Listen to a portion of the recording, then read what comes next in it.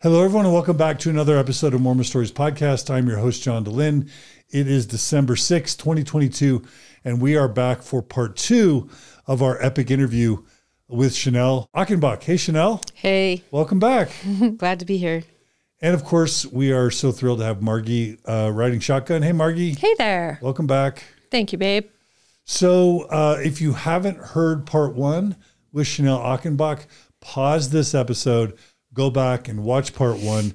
We just shared a tiny short from Channel's interview on Facebook, and it's already got over 500,000 views, something like 5,000 likes and like 2,000 shares. Mm-hmm. So you're already taking the world by storm, Channel. Uh oh. How does that feel? Scary.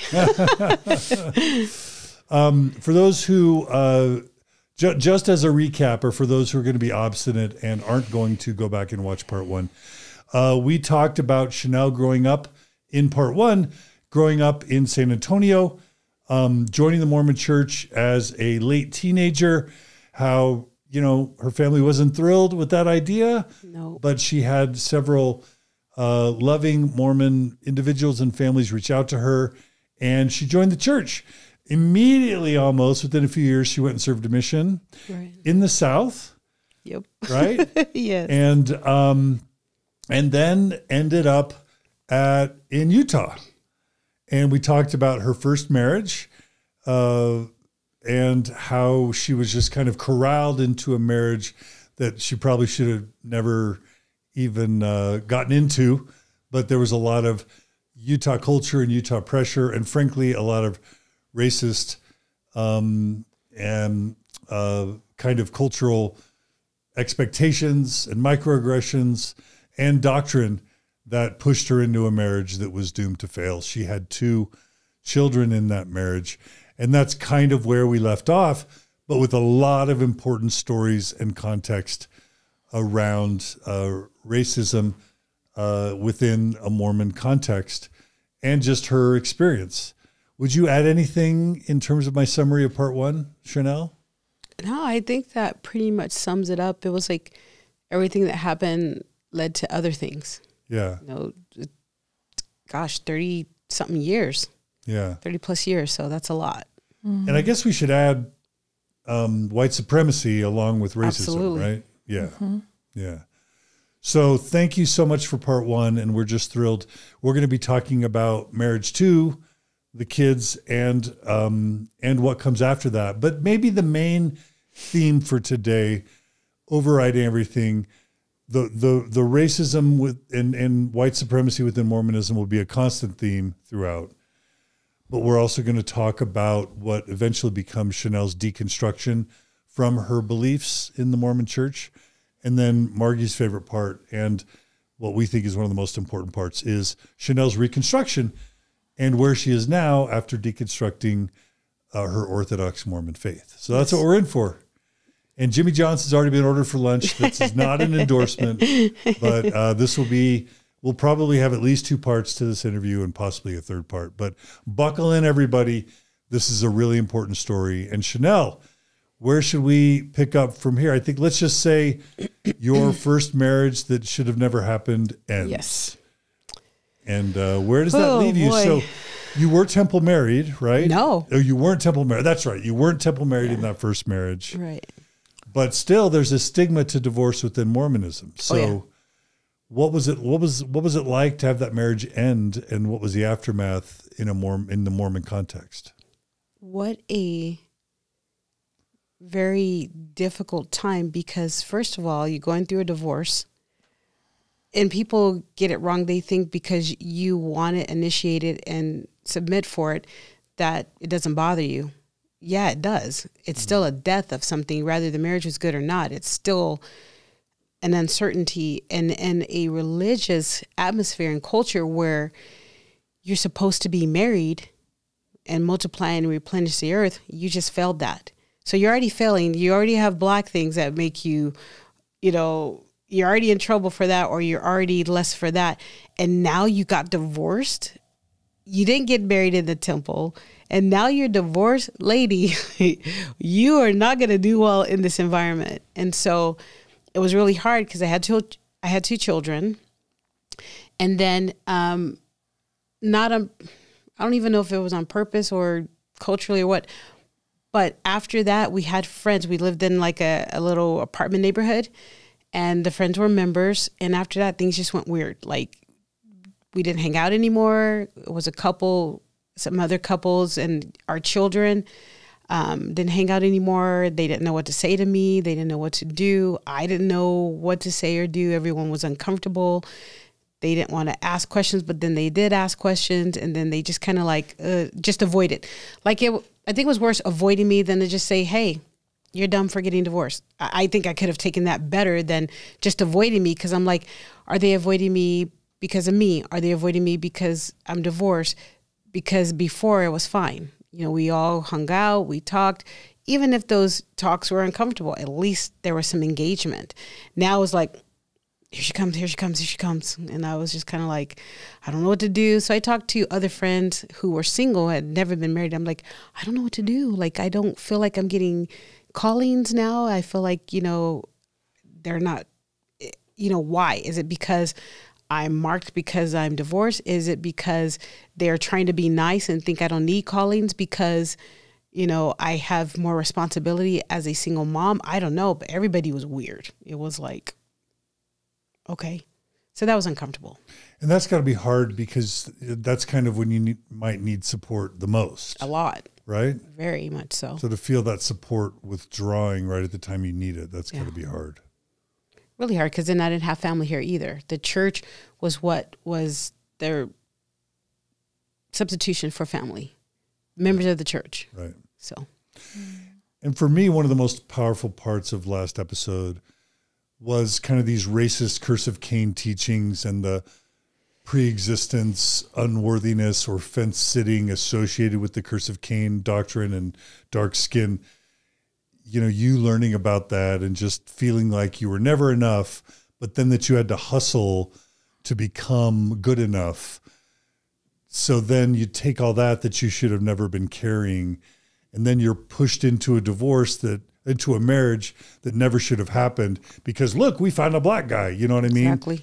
And then that it only puts you even further behind in your hamster wheel hustle Absolutely. to try and become worthy, right? Very mm much so. Yeah. Yeah, that's I don't know, that sounds really hard.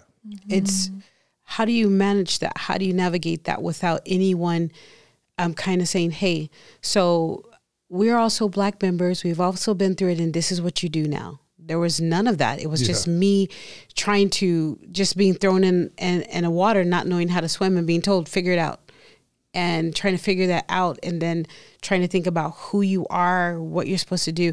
You're you're already marked for. You're already starting behind. So like at the if you're gonna run a 50 yard dash, everybody else starts on the the line. You're already back there, and they're telling you you're gonna work harder, run faster they're going to start on the line. You you get back here and start. And you're like, "Okay, I'm in this race." And they're telling you the whole time you're starting back there, but guess what? You can do it. And if you do it, you're going to be rewarded. And you're like, "Yes, I can do this." And so you're already behind. Mm. And then then they say, "Wait, wait. You're behind, but hold on, let me add some other stuff. This is for your own good though. This is for your own good." So, you're black and now you're divorced and you don't have family, like just keep putting you back, putting you back, putting you back, putting you back. But you can do this. And you're like, okay, I can do this. Mm-hmm. Have faith, endure to the end. It doesn't matter where you start, it matters where you finish. And I'm like, okay. Mm. Now there were no disp- you, you I know at some point we're going to talk about disciplinary councils because you mentioned that in a different Mormon Stories episode. Were there any disciplinary councils involved in this first marriage or divorce? Yes. For you? Yes. Okay. I don't I only mention that because you've mentioned it in other contexts. Correct. Is that something for us? It's we want to talk about that whenever it's possible because we feel like disciplinary councils are horrendous. It was awful, terrible. But that doesn't mean you necessarily want to talk about it today. So I'm literally checking in with you. No pressure. You can say I don't want to talk about it today, or you can talk about That's it. I think it's important audience. to okay. talk about. Okay.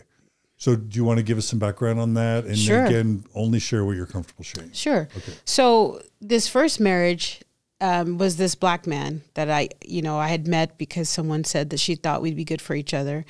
And um, this is after finding out he can't get married in the temple. This is finding out that family is not going to come. His family's not going to come. My family's not going to come.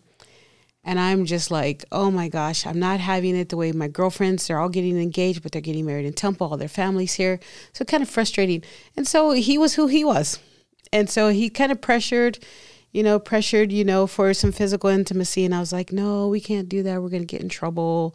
And, he, you know, he's good. You know, I was like, well, you know, it's not a big deal because we're not going to get married in temple anyway. And I was like, yeah, I understand that. So long story short, we were intimate. Okay. And this was after this was like a week before we got married. And uh, we got married, and that was that. Got married at a courthouse, had a reception, and um, things things were weird for like for a minute. And then one day, I went to go pick him up from work, and uh, he said, I can't go home right now. And I'm like, what's going on? He's like, hey, there's something going on. He worked for a church company at the time, was ECMI. Mm. Um, and he had said that he knocked over a TV and they were holding his check and they were keeping him. And I was like, that's not right. I'm going to call the bishop. So I called the bishop. I said, hey, they're, they're not, you know, this is a church owned company. They're not treating him right. These things are going wrong. And the bishop's like, yeah, that doesn't sound right. That, that's awful. Let me call. He called them and the bishop had asked me questions. He said, I need to ask you questions. Is your husband a member of the church? And I said, Yes. Does he have any kids? No. He's like, uh, he is. He's not a member. He does have a child. And I was like, What? Mm. And so we started discussing. He says, Is there anything else I need to know? And I said, Well, we were intimate. Like to me, it was just like we were intimate. And he's like, What? And I was like, Yeah, a week before we got married. he's like, What? And I was like, yeah like we were already getting married it was just a week before and he's like no that's that's actually wrong that's actually really bad and i was like why we got married and it was a week before and he was like no no no no no he said you're going to have to go for a disciplinary council you're, you're going to have to talk about this and we need to assess what we need to do and i go about what we're married we were married and uh, this was after we had been married i think six weeks, maybe six weeks. Mm. And so I went, and it was in the culture hall. It was a bishop, his counselors, a secretary, and some other men. So me alone in mm. the culture hall with like six men, telling them what we did. Were they six white men? Yeah, of course they were. Six white men asking this black woman about her intimacy with now her husband. Mm. Uh, they asked me how, what, when did mm. you know how many times, what the situation was? Did we do it more than once? And I was like, wait, what? Like I just told you, it would happen the week before we were married, and it was detailed questions, and I was really uncomfortable. But you you have to answer them. Now I would be like, it's none of your business, but at that time, indoctrinated for sure. Are you comfortable saying how detailed the questions got to Very expose detailed. them, not you, right? Very detailed. Okay. They specifically asked what we did, where we did, mm. how many times we did, and if who liked what. Mm. They're very, very detailed questions. And the reason for the, the details they explain, well, there's there's there's a difference of necking and petting is what they're explaining than other things. So we want to make sure so when we have to assess what happens to you, whether you're disfellowship or excommunicated, we and plus you you've been through the temple. So we need to know in detail to know what to do about the situation to help you with your repentance. Because you had been endowed as a missionary. I'd been endowed. Uh huh. Okay. So this was after my mission. Yeah. And so they're like, you're an endowed member, things change. So we need to know in detail because, you know, necking and petting is one thing, but if you're doing other things, then you've broken your covenant. And I was like, what? But we got married. Like, I don't see. And they said, but you still broke a covenant. So we need to know what degree of and they said also the more times you do it the more it shows that you're not repentant. The more times it shows that you're not sorry that that is a habit as opposed to a one-time fail. And so i was like oh my gosh. And all these men are looking at me. There's there's just all looking at me and i'm just sitting there trying to explain what i did with my now spouse. Mm-hmm. that mm. was terrible uncomfortable and awful. It was awful, awful. No one's been able to explain to me how the information of who enjoyed what has is anything relevant. to do with anything. Yeah. Can can you explain that to me? Like, No, well, they were explaining. So if it's it's one thing if you were talked into doing something and you didn't enjoy it, then it wasn't your fault. But if you enjoyed it, then you're couple. Like it's part of your problem. what if you were talked into it but enjoyed it? Like, like, Oh I no, mean, like, I'm just I was I was 26, so a, a very adult woman, and just like yeah, um I I, I don't know, like okay, it, Yeah. that was weird. Yeah. It was really really uncomfortable. so you felt uncomfortable. extremely uncomfortable. I it wasn't even about being ashamed after that because to me, I was an adult woman who got married to the man. So to me, I didn't understand why it was so horrible. But what was devastating to me is talking to a group, not one man, a group of males watching me explain my personal intimacy with my now spouse, my now husband. That I do. weird. It's so interesting too that this all started uh, in the context of you reaching out to your bishop for help with a situation that was completely separate, and so you're in this sort of almost like trust confiding, asking Yes. for help, and then he asks you just kind of on the side about kind of intimacy, and in that in that sort of context, you share, and then it kind of flips on a dime. It's Yeah. really, really awful. it was really awful because I, when I realized what that meant, he says, you know, you're going to have to be disfellowship. You're not going to be excommunicated, but disfellowshipped. And I said, okay, what does that mean? He says, so you can't take the sacrament, you can't pay tithing, and you can't give talks. So I'm in Relief Society one day, and she hands me a slip to read a passage from uh, Gospel Principles, and I have to hand it back to her in front of everybody else. And I said, I can't. And she just mm. looks at me like, what? So she could take that as, I know why, or she could take that as, well, you're being rude. So everybody's looking at me like, what? And I can't give prayers. I can't talk in church. I don't take the sacrament. So everybody knows something's up. So everybody, you know, are looking at me and I'm really embarrassed because I, I've already talked to these men about my intimacy, and now these women in Relief Society or even in Sunday school, even I've lost my calling, so they know something happened. I and now I give the slip, a paper back, or someone because nobody else knows. Oh, can you give the prayer? And I can't. What? I can't. So then I only explained to a, a few people because they're like, well, what do you mean? I didn't know I couldn't tell them or shouldn't tell them. I just said, well, I'm disfellowshipped. And they're like, what? And I was like, well, I thought everybody knew that because these men asked me about it. So I assumed it's common knowledge. And they were really uncomfortable, like, oh my gosh. So I was like, okay. But It's such a scarlet letter where was now awful. every time you go to church, you have to pat the tray, you have to literally pass it on by, and Mm-hmm. you're thinking in your mind, well, some people are watching, but in your mind, you're thinking everybody's watching. yeah. And then, yeah, yeah, at any moment, you can get asked to say a prayer and you have to tell them no. Yeah, And you know immediately what they're going to assume. of course. So it's this awful, shaming scarlet letter. I can't believe they do this to people. yeah. Yeah, it's part of that kind of conformity culture where where everyone is expected to follow to a T. Then you have members who are actually like looking around to see who's not kind of for those cues of like, wait, who's on the outside? Wait, who like Yeah. where's the danger? Where's the and it creates this public shaming kind of event. Yeah, in these in these interactions that are mm-hmm. yeah, it's That's the last thing you needed, right? It was the absolute last thing I needed. You know, just wasn't uh, a promiscuous person who was just running around with a bunch of different people. And even that's my own personal business, if that's so. It was a person with a man who she was promised to marry a week later. Yeah. yeah. Okay, I'm so sorry. Yeah. So that was how the marriage began. That first marriage began. Yes. Okay, and then it lasted a couple years. A couple of years. Okay, okay, and Over so pretty quickly. okay, so when that marriage ended, were bishops involved? Were church leaders involved? Was I had a good. I'll, I'll, I had a good bishop at the time. Um, he was really good about counseling. Like I think you guys could try counseling.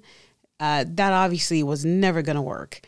Um, but attempted that, and he he was really good about hey, um, I don't know what else to do. I know you're getting divorced. He tried. He really did. Um, I think he was a good bishop. It was just everybody else. And then after him being released, yeah. Mm. So, how in the world you're away from your entire family support system is in another state and basically feels like you joined a cult? So, you're basically kind of estranged from them. You're living here in Utah. You're a person of color when everybody else is white. And now you're divorced. How do you make ends meet? How do you support two young kids? and now you've got a husband that may or may not be providing support for you. How do you survive? I had really good friends at the job that I worked. I I felt so what I did is I ended up taking a serving job because I had two kids and I needed to be able to leave the job without getting in trouble. So other jobs were requiring that you don't miss any days. You know, you can't call in, well, you have two babies, you know, they're 15 months apart. If I need to leave, I need to be able to leave. They're in daycare. And so working at a restaurant gave me that flexibility because in the job I had was extremely flexible. I'm like, you know, Brian, I gotta go. I gotta go. They just called from the daycare. My child just threw up. They have hand, foot, and mouth. I have to go. I can get out of that. I can, hmm.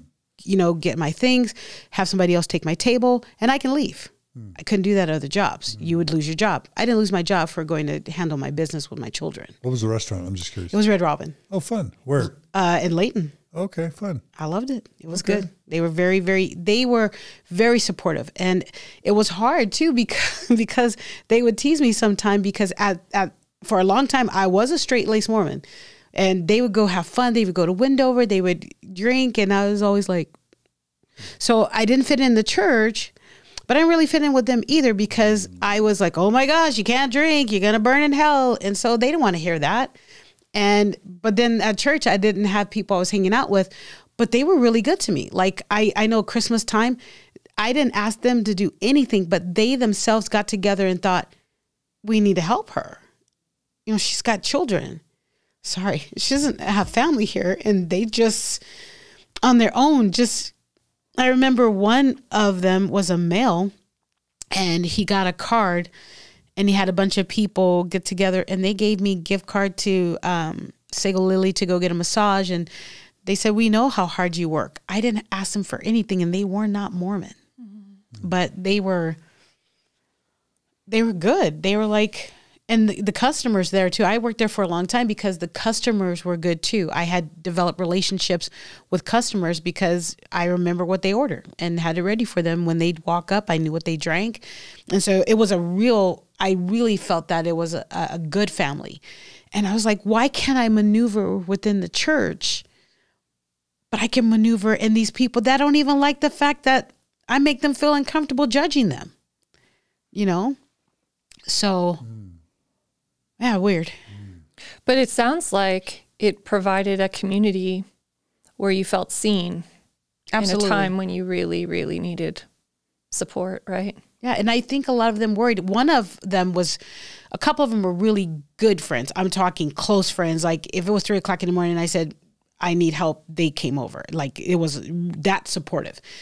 Um, you know, some of them were concerned, like, you know, this religion is not good. Like, you know they're not good to black people. And i'm like yeah but here's the thing. I'm i'm learning and i've been told that things get better. And i told if i endure that i'll figure it out. We don't know everything. I said the same thing. We don't know everything. We'll learn after this life what this all means. You don't understand. You're not in it. You've not had the holy ghost conferred upon you. So you don't know these things. So it'll be fine. Mm. you know they're very concerned it's also just super weird if you read the Bible and you read the story of Jesus. Like it couldn't be more clear. All these men drag a woman in front of Jesus and say, "Hey, she's committed adultery. Stick it to her, Jesus." And like Jesus couldn't be any more clear. Yeah. He's like, "Who among you is without sin? Let let him cast the first stone." And they're all embarrassed and they walk away. And that's it. Yeah. It wasn't like he didn't turn to the woman and say, "Hey, you're disfellowshipped and I'm going to stick you with a red scarlet A and now keep you from taking the sacrament and saying prayers in church. It's just like go that way and sin no more. You know, do better, right? So marked Like- again. Huh? So marked again. But I mean, but Jesus made it clear you just love these people. right. Why is why can't the church? Why, I wonder just why the Mormon Church couldn't just like see what Jesus did and do that. How they add all this other stuff that's clearly not biblical and not Christian. Well, I And have so- my theories. What? well, yeah, but I mean, you're getting more love and support from your colleagues at Red Robin.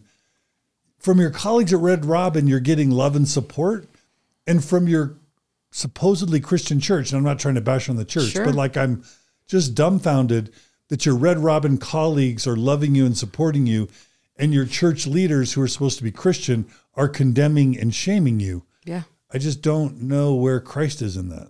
I don't either because looking back, I'm like, oh my gosh, like nobody asked them to do anything, and they, according to the church, they were the evil ones because they they went to to clubs and they drank and they went to Wendover, so they were evil. But yet they were the ones that were mourning when I was mourning. You know, they they were the ones that loved my kids. You know what I mean? Like I was overwhelmed. I didn't have my family in town. I was overwhelmed. And a couple of times, uh, one of them got into my apartment and cleaned it. And they would just do stuff like that. Nobody told them or had a manual or scriptures to tell them what to do. They did it because it felt like something they needed to do. And I'm not saying that the church people throughout my years have never been helpful. I'm not saying that. But what I'm saying, as a whole and as a default, it was more of a shaming thing than it was love because with all that supposedly love came a lot of uh, condemnation. Like, okay, we love you. Hate the what? What was it? Love the sinner, hate the sin. And I was like, but we all sin. So what business is it of yours? You know? And then comes all of the, well, you sin because of this. And if you hang around this person, yeah, but these people that you're saying are sinners are the only ones I feel loved by. I truly feel that they care what happens to me and my kids, these sinners. Mm-hmm. Yeah. Yeah, the church doesn't do single people very well either. No. Yeah. Well, it's almost like, you know, at any time when you're othered for any reason, where you're, it's like you can live in this little tiny box of a space. And anytime anyone kind of steps out of whatever that, you know, how small that is, I feel like, uh, I mean, I think interview after interview, there are just countless times you feel uh, love taken away. It's just denied access. Access denied. You are now a threat. You are now not. Um, and it's so incredibly painful.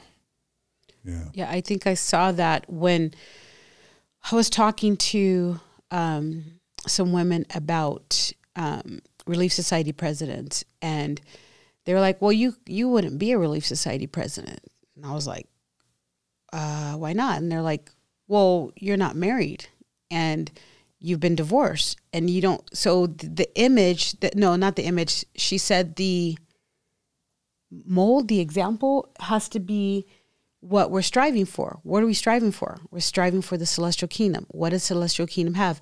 Man and woman married with children, multiply and replenish the earth.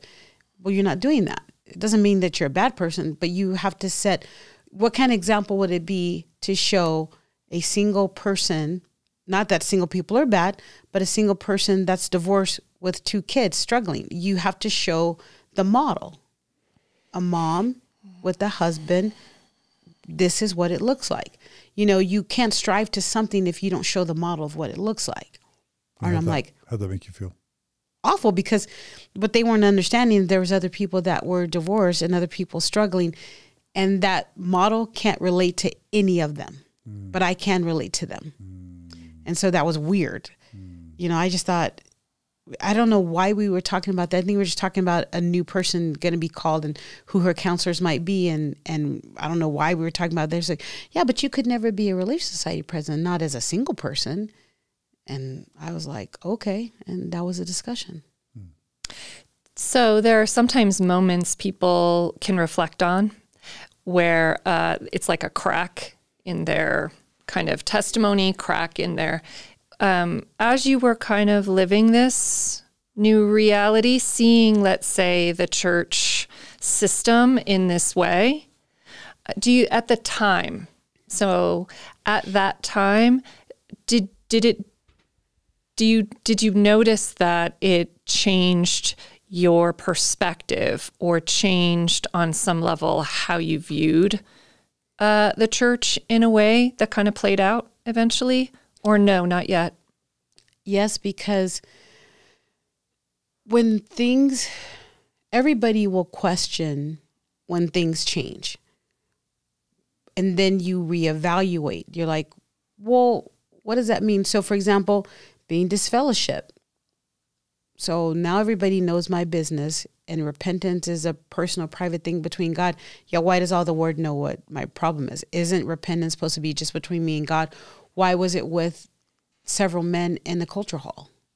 Yeah. And so that was that was disturbing and traumatic. And then to be divorced and to lose that kind of support and then to then have conversations with women that you look up to to then say, here again, you suck because of your circumstance, not because your heart isn't in the right place, that you are living the gospel, that you're reading your scriptures, that you're going to the temple, you're doing all this, but you don't fit a model we've created.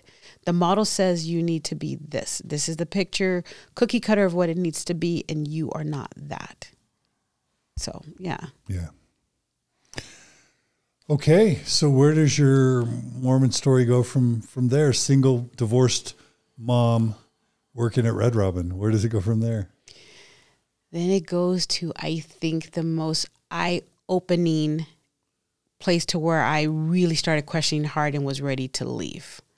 But so that's in 2000. This is in 2002. Okay. Mm. Okay. So now there is a young man that I'm spending a lot of time with, a white male that I think is great. I think he's a good person. I we go to institute together, we go to church. We we're doing all the right things. We're not doing anything wrong. Uh, we're we're doing the right thing, and I think that went on for about two years. I I just thought it was great. I mean, we conversation was good. I thought chemistry was good on my part, but he made it known to me several times kind of angrily though, which I was reading my journal and oh man, it is painful to read. But he was annoyed. He was like, ew, like and it was like this is how he was. He was like, ew, like I don't know why I would be attracted to you. I'm just not. And I was like, wait, what? and but you're here and you're doing these things and he's like yeah but uh like and he would say stuff like even my family said if i ever brought home a black girl they would beat me. And i was like but you're here. I'm so confused. Um, but we still hung out. We'd have these difficult conversations. We talk about black and white issues. They'd be difficult but they were never to the point where he, i didn't think at the time he was being hurtful and harmful until I reread my journal. Man, oh, he was like, "You're gross. Your skin. This is gross. This is not good." Um, mm. and then I remember what finally. I think, like I said, I think this went on for about two years. What finally did it as he was How getting. can he date you for two years and say you're gross? Two well, years? this is what he told me. He says, "You cannot say I'm your boyfriend." I'm like, really? what are we doing then?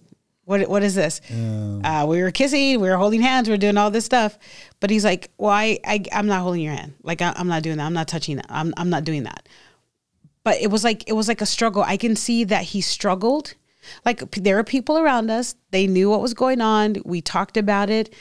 Um, and he, it was like this this conflict.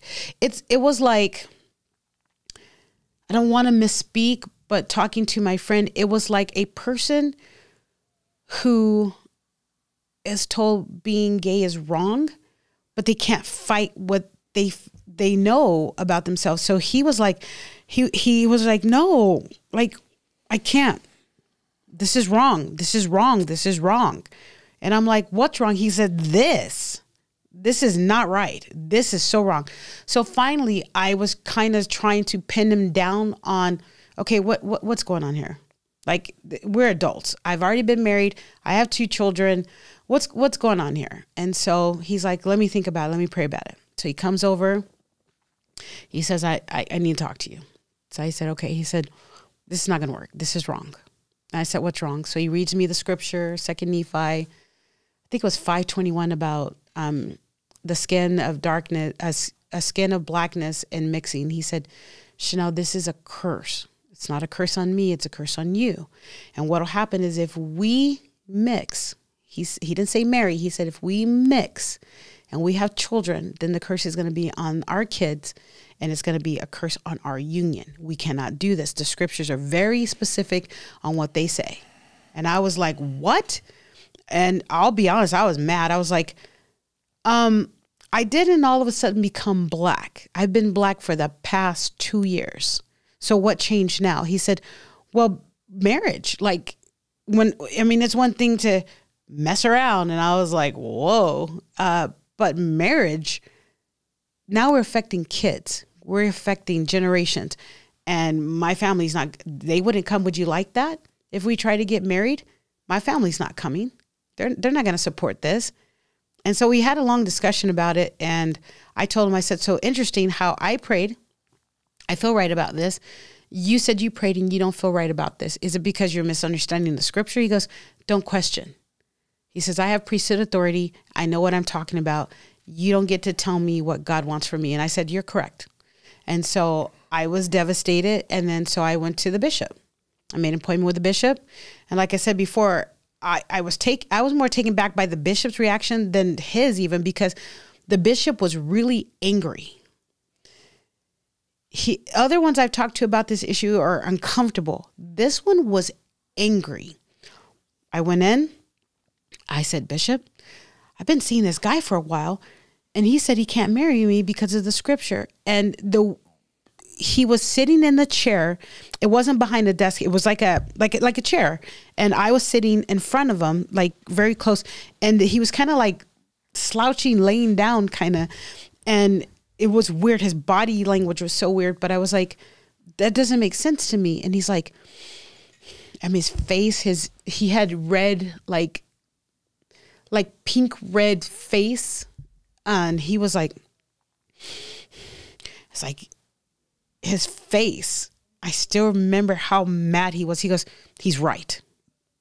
Just cold like that. He's right. First of all he's a priesthood holder so you need to listen to him. Second of all he's correct and then he said utah is not ready for that i said ready for what he said interracial marriage and dating no that is so wrong he is correct and I said, that doesn't make any sense to me. We're humans. Like, I don't, he said, do you not understand? I mean, he was so mad. Like, how dare you say this? This is not okay. He is right. And I left, called my home teacher, was upset, and said, I need a blessing. I am not doing well. I don't know what I just heard. I don't like what I heard from him and now the bishop.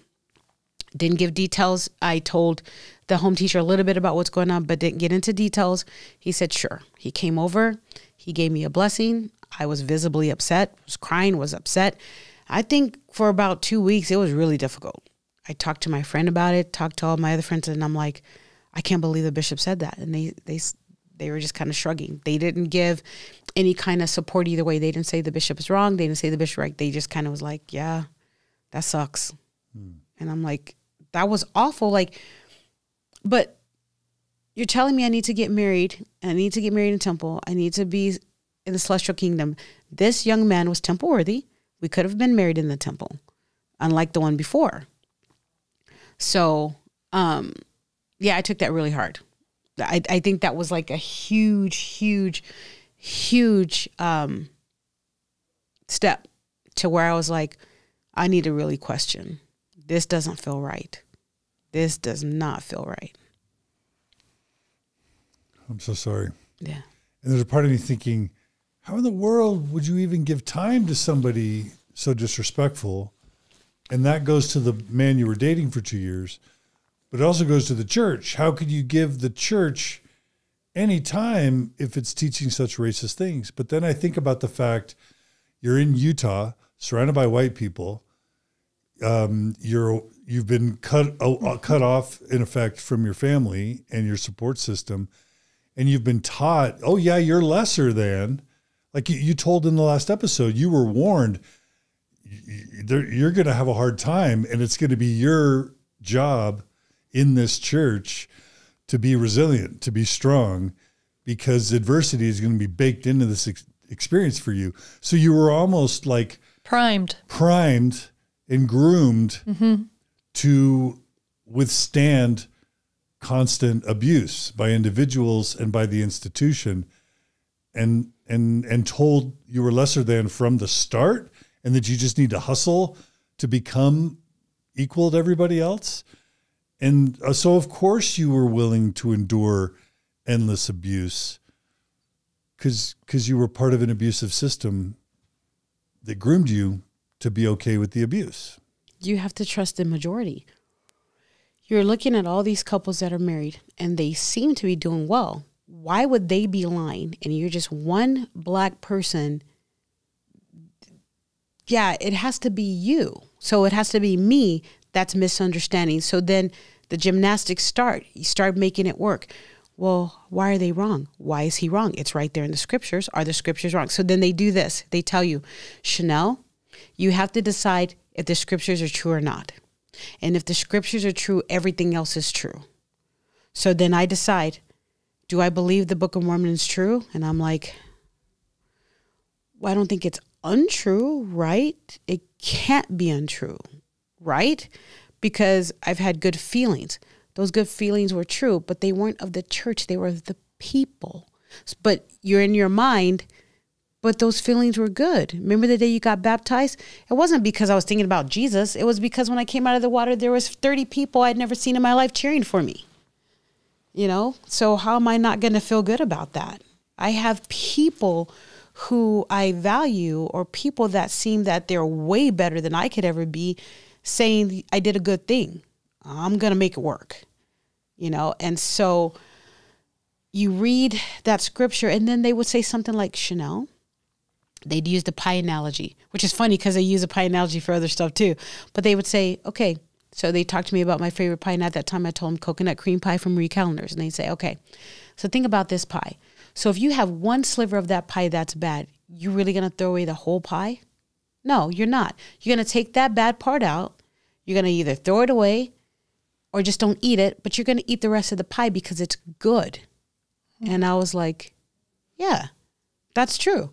So this racist part of this scripture is just a few scriptures. It's not the whole Book of Mormon. The rest of the Book of Mormon is good, right?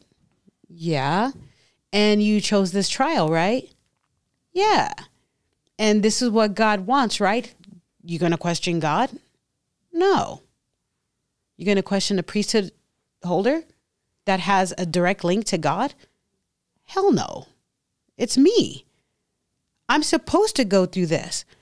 It is my fault. I chose this in the preexistence. Okay, I'm good. I don't like it. It's good. Okay, next. I, I, I, I'm over it. Okay, I understand.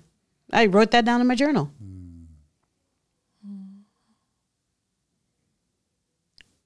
Yes, so much emotional manipulation there. I'm so sorry. Mm. But it sounds good. It it fits so good though. And these, to be clear, were white people telling you what the pie was and that racism was one slice. Yes. Just a small part. You're mm-hmm. making it a bigger mm-hmm. deal than it needs to be. Okay, sorry. Right. And and you mentioned kind of our LGBT brothers and sisters. There's this idea of internalized homophobia, where you hate the gay part about you, even though you're gay. Mm-hmm. I from the studies I've done with you know Malcolm X, Martin Luther King, and others, if you grow up in a society where white is perceived as supreme, you can grow up hating your blackness, even if you're black. Not not hating it, but also kind of hating it. Definitely. Mad at yourself that why would you choose this trial? And why didn't John choose this trial? What was I thinking? Did I really want this? Yeah, you did because you know what, Channel? You know what you're getting in the afterlife. You know that you're sure in. The harder the trial and the better you endure it, you think you're not going to get gold in the afterlife? It's not going to be here. That's fine. But you know that after you die, you're going to be like the first, you'll probably sit on the right hand next to Jesus. I will. Yeah, because I endured harder than you. I chose this trial. Okay, yeah, I, I'm down with that. Yeah. Okay, cool. That's what I thought. My I'm 18, I'm 20, I'm 26. Everybody's telling me these things. Okay, everybody's a big word. Most people are telling me these things because I'm telling them I'm uncomfortable. I don't like this. I, I don't like the racism. But you chose to be the trial. And you have to understand it was what you and your people did in the pre existence that brought this trial. I didn't think to question, but we said people are punished for their own sins, not for Adam's transgression. So why would I be punished for something in the pre existence? That didn't click until now. Mm. So, yeah. Yeah. And that whole in the afterlife, it'll be great, just primes you to endure a miserable life now. Exactly. But Jesus Christ endured a miserable life and he was a son of God. You know, Sister mm-hmm. Baker, he got nailed on the cross. His own people did stuff to him. Why do you think you're any better than Job? Why do you think you're any better than Jesus Christ that you don't have to go through these trials? Who are you? Yeah, you're right. If Jesus can do it and Job can do it, yeah, and Alma went through it and Abinadi and all these people went through that. Oh my gosh, and Nephi, he had it from his own brothers. Who am I to question? I I bought into it heavily. Mm. I just wanted to do good. You know, if you talk to my family, I have um, I say exactly what I think, but I didn't do bad things. Like I've never been arrested. I don't I don't like getting in trouble. So if you said God said it, I'm not questioning it. Mm-hmm. That was my thought process then. Yeah. Which kind of brings back that element of safety, trying to keep yourself safe, right? Right. Mm.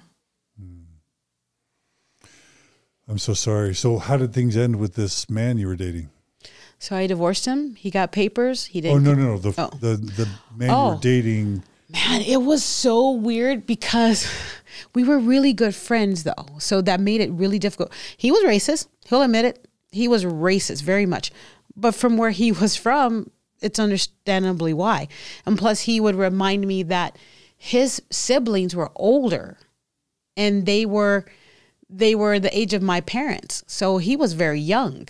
You know, he was he was younger than me, and so that was how he was raised. So after that, it was tense for a minute, but then we remained friends, and then I started dating somebody else.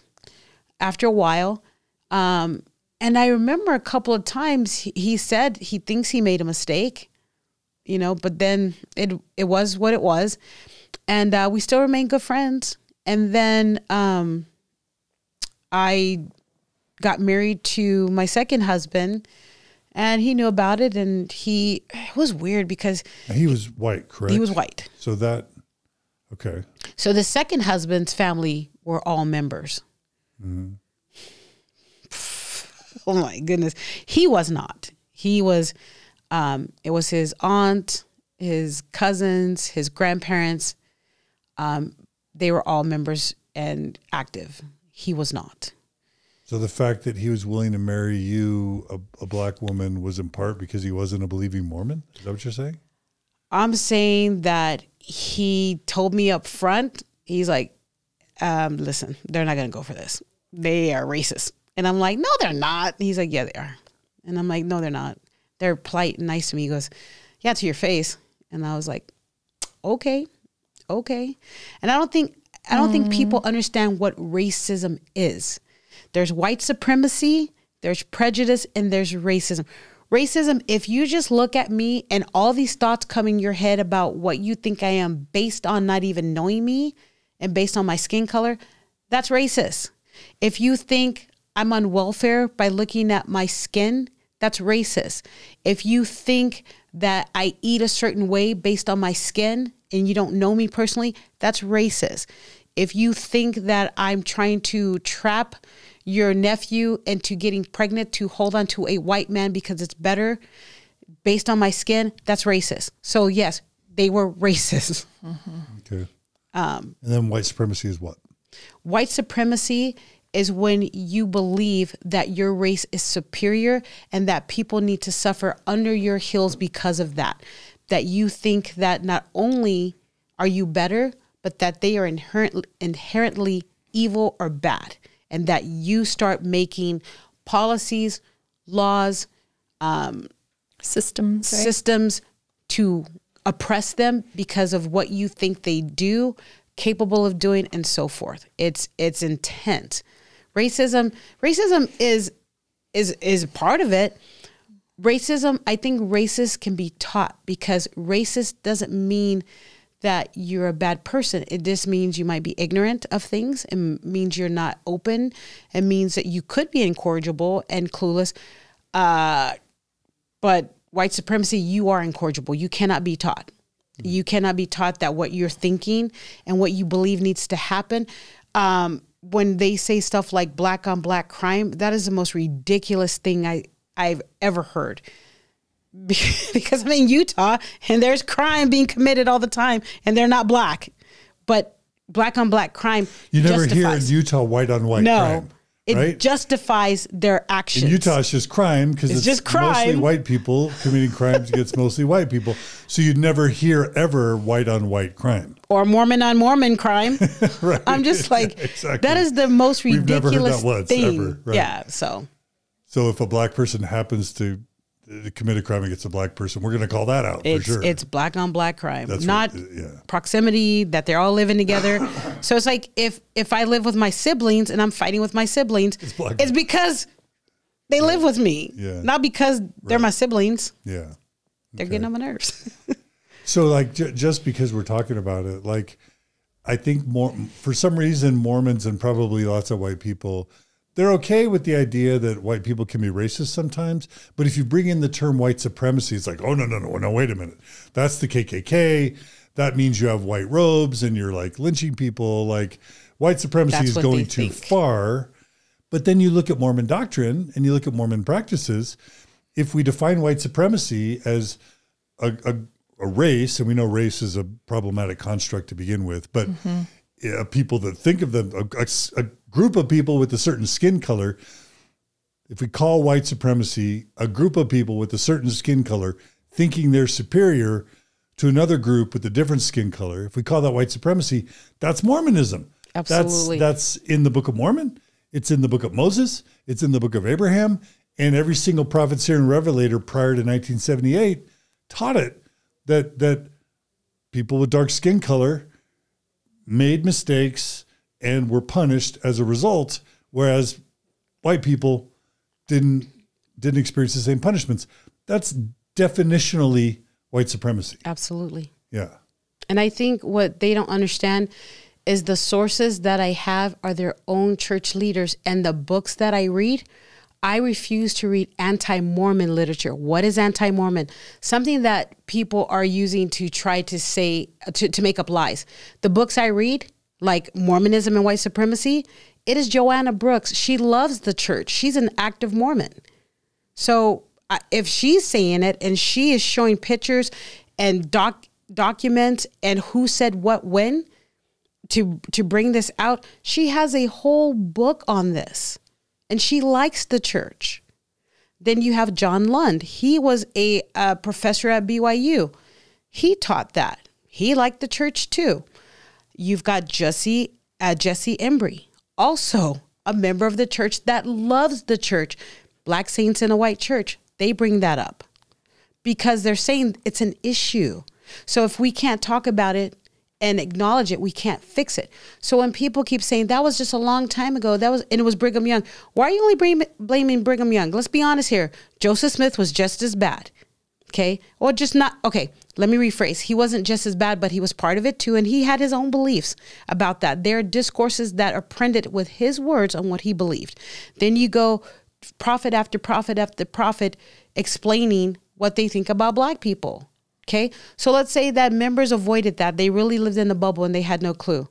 I joined the church in what, 1990? Who was the prophet then? Ezra Taft Benson. Do we really want to talk about him? Ezra Taft Benson was part of what, John Birch Society? What is that about? He didn't believe in civil rights. He said that fighting for civil rights was communism. Well, okay, let's say that it stopped at him and no more about racism was talked about. They going forward, they never taught anything racist. But they didn't unteach. So if you taught, let's just say only 100 members believe what Ezra Taft Benson and other prophets taught about black people, you never untaught it. And even, let's say Bruce R. McConkie, they're like, oh, that was his own ideas, but you let him say it. You can't excuse that. Right now, how do you think it would go over if in Sunday school they started teaching that they want all their kids to um, not marry the same sex? I mean, that they want their kids to marry the same sex. How do you think that would go? Well, they would say something because they don't agree with that. They let things be taught that they agree with. So Bruce Almond was terrible, and that was just one prophet's idea but you let him teach it at a podium. You let him write about it. You never said, stop that, do not write that, because you supported it. So then you come later and you disavow. Disavow means what? That, hey, I don't know, but I want no part of that. Disavow does nothing. It just makes people research deeper the racism and white supremacy within the Mormon church. You could take that for whatever you want. You could either say, hey, I can see the problem, I want to acknowledge and do something, or you can say it doesn't exist, but it does. And there's so much proof. That's what makes it look bad. So then what happens now? The only way they combat this and make it right, they're going to have to apologize. So, Mormon church, if you want me to shut up, first of all, you're going to have to apologize to me and everybody else. That is a demand. You're going to have to apologize. Number two, you're going to have to unteach that, meaning actively teach anti racism. You're going to have to say, hey, we are human. We got it wrong. We messed up. We have no problems with intermarriage. We have no problem with black people. That stuff that in the pre-existence is wrong. It is not true. It wasn't of God. We made mistakes. Now, what racism looks like is XYZ. What it looks like in our church buildings, what it looks like in our homes is XYZ. We're not doing that because our brothers and sisters are important. Then I stop talking. Yeah. Thank you. Mm-hmm. I'm sorry you have to teach us this. Yeah. But thank you for teaching us. Of course. And as you were talking and saying, you know, hey, look at all these resources, Joanna Brooks, or and all these kind of within the church, it, it's also, um, it's also like hear my experience. Like right. it matters, you know. And this idea of privilege, right? That the more privilege, if you're in a group, you know, the the people with the most privilege should not be the ones talking right? It's this idea of you should be listening to people who have less privilege as they talk about their experience, as opposed to like, well, that's just not my experience, or, you know, and so your experience matters, you know, your voice matters. And um, I'm really sorry. I'm really sorry that in the times that you were trying to use your voice or share, you know, parts of yourself, you know, that it's kind of like uh, you weren't listened to. It just, it didn't matter. Well, I I understand as I think about it and I manage conversations with people. What happens is just recently, uh, my dear friend, I hope that she's watching because I want her to understand how painful this was. So this is a person that uh, wasn't considered my friend. This person was considered family. This is how we talk to each other. Hey, sis, we're sisters. And um, I was telling her about some of the concerns I was having as I was learning for sure about racism and white supremacy in the church. We were talking. She's like, "Well, let me call you." So she calls me, and she's saying, "Hey, um, that's not true. There's nothing about the church that's racist, much less white supremacist." I said, "Sure, there is." And I'm like, you don't know about. She said the church never taught that. That is not true. That, that I don't know what those documents are. I don't know what that is. So then she gets him on the phone. I had to be careful with who him is. And he's like, no, I think what happened is there's a couple of people that are racist, but the church as a group, as a whole, isn't. And I'm like, you really want to go with that? Very much so, because you've seen it. It's it's here. It is in the document. It's not even just documents. These men, church leaders, made quotes with their whole chest saying the skin and the curse of the black man, the Negro, this, and they are not, oh gosh, just I'm thinking just the different church leaders over the years that have made comments about black people and and and and so definitive. It wasn't like, hey, I think black people might be cursed. I think it was like they are, deal with it. They made choices in the preexistence, deal with it. And members, don't you dare mix with them because if you mix with them, you're going to die on spot. Your kids will be killed on spot. This was taught to people. And this is a dear friend of yours. You were making this the point. Is this is someone dear friend of mine who was like, nope, nope. And then I thought, okay, so why is she struggling to accept this information? Well, first of all, if you acknowledge it and admit it, what do you have to do when you know something? You have to act. And if you have to act, what does that look like? Does that mean you question the church what they're telling you not to do? Do you leave the church? No, you can't do that because the community and your family and what you have in your head about, you know, visiting. You have callings, you have prestige, you have this. If you admit this, well, what does that say about your church? That it may not be true. So you have all of these different things that transpire as you admit something. If I if my kids if I have to admit something about my kids that they tell me, "Mom, I think you're a little too uh, angry the other day. I'd be like, no, I wasn't. I wasn't. Or I can say, yeah, I was. And then what does that look like? Now I have to acknowledge my behavior. Now I have to do the work to change my behavior. And then I have to apologize and manage that relationship with them so that it doesn't happen again. People aren't willing to do that. They like their comfort. Well, it didn't happen to me. So not only are they having attitudes of, well, it didn't happen to me. Well, I don't want it to happen to me. I see how you treat you're treated. I don't want them coming after me. So I'm sorry, you you deal with it. I'm not saying it didn't happen or it's not true. I just don't want it to happen to me. So good luck with that. I got a lot of that. Yeah. So that feels like gaslighting. Is that gaslighting yeah. to be like, no, you that that actually hasn't happened to you, or no, your experience really wasn't that way? Yeah, like I just googled like, you know, statements by Mormon leaders about race. You know I mean? Oh gosh. you know, Sick. And of course, you know, there's there's Brigham Young quotes. Um, you know, Brigham Young will say, and I'm just like, this is one of like 50. You know, you must not think from what I say that I am opposed to slavery. No, the Negro is damned and is to serve his master till God chooses to remove the curse of Ham. You know, okay. that's that's yeah. Brigham Young. You know, but but it that's just one of really many many many awful things. But you can go all the way up to the 60s and 70s. Um, you know, we've got, uh, you know, Joseph Fielding Smith saying, who was a prophet of the Mormon church in the 70s, right? While I was alive, right? Not only, you know, was Cain called to suffer, but because of his wickedness, he became the father of an inferior race. Yeah. A curse was placed upon him, and that curse has been continued through his lineage and must do so while time endures. They have been made to feel their inferiority and have been separated from the rest of mankind from the beginning. And again, just Google like Mormon leader racist quotes and you'll find hundreds that are horrific. And and so when a white woman tells you that Mormon church leaders have never taught racist things, it's gaslighting and it's just like objectively false and super insulting and I'm so sorry.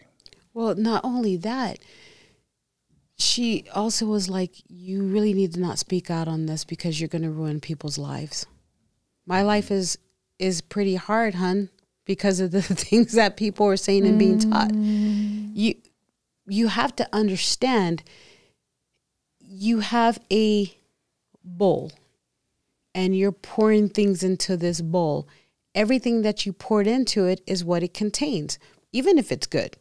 Was there love? Sure. Was there friendship? Sure. Was there hate? Yes. Was there gaslighting? Yes. Was there harm? Yes. Was there racism? Yes. Was there white supremacy? Yes. Did they help bring beautiful gifts on Christmas? Yes. That doesn't change racism. It doesn't yeah. change white supremacy. It doesn't change. Could you imagine having conversation after conversation with people that you love about race when they said they don't want to talk about race, but they're the one keep bringing it up um, about um, stuff like I, I think the most um, iconic, powerful, horrible time was 2016. That's when I was like, okay, I'm done. There's no way. There's no way I can. I said, God, if you are real and I have to endure this, then I'd rather go to hell. Okay, what time period are you talking about? Now 2016. That's when I was like, I'm done. Okay, wait. So I, I just want to make sure we don't lose the story. So you marry the second husband mm-hmm. who was not a member when you married him? He's not a member ever. Yeah, he he never joined. No. Okay, so you didn't marry him in the temple either. No. But you found someone to help share life with. Sure. Had had two children uh, with uh, yes. him, and you two were married for how long? We're married for 16 years.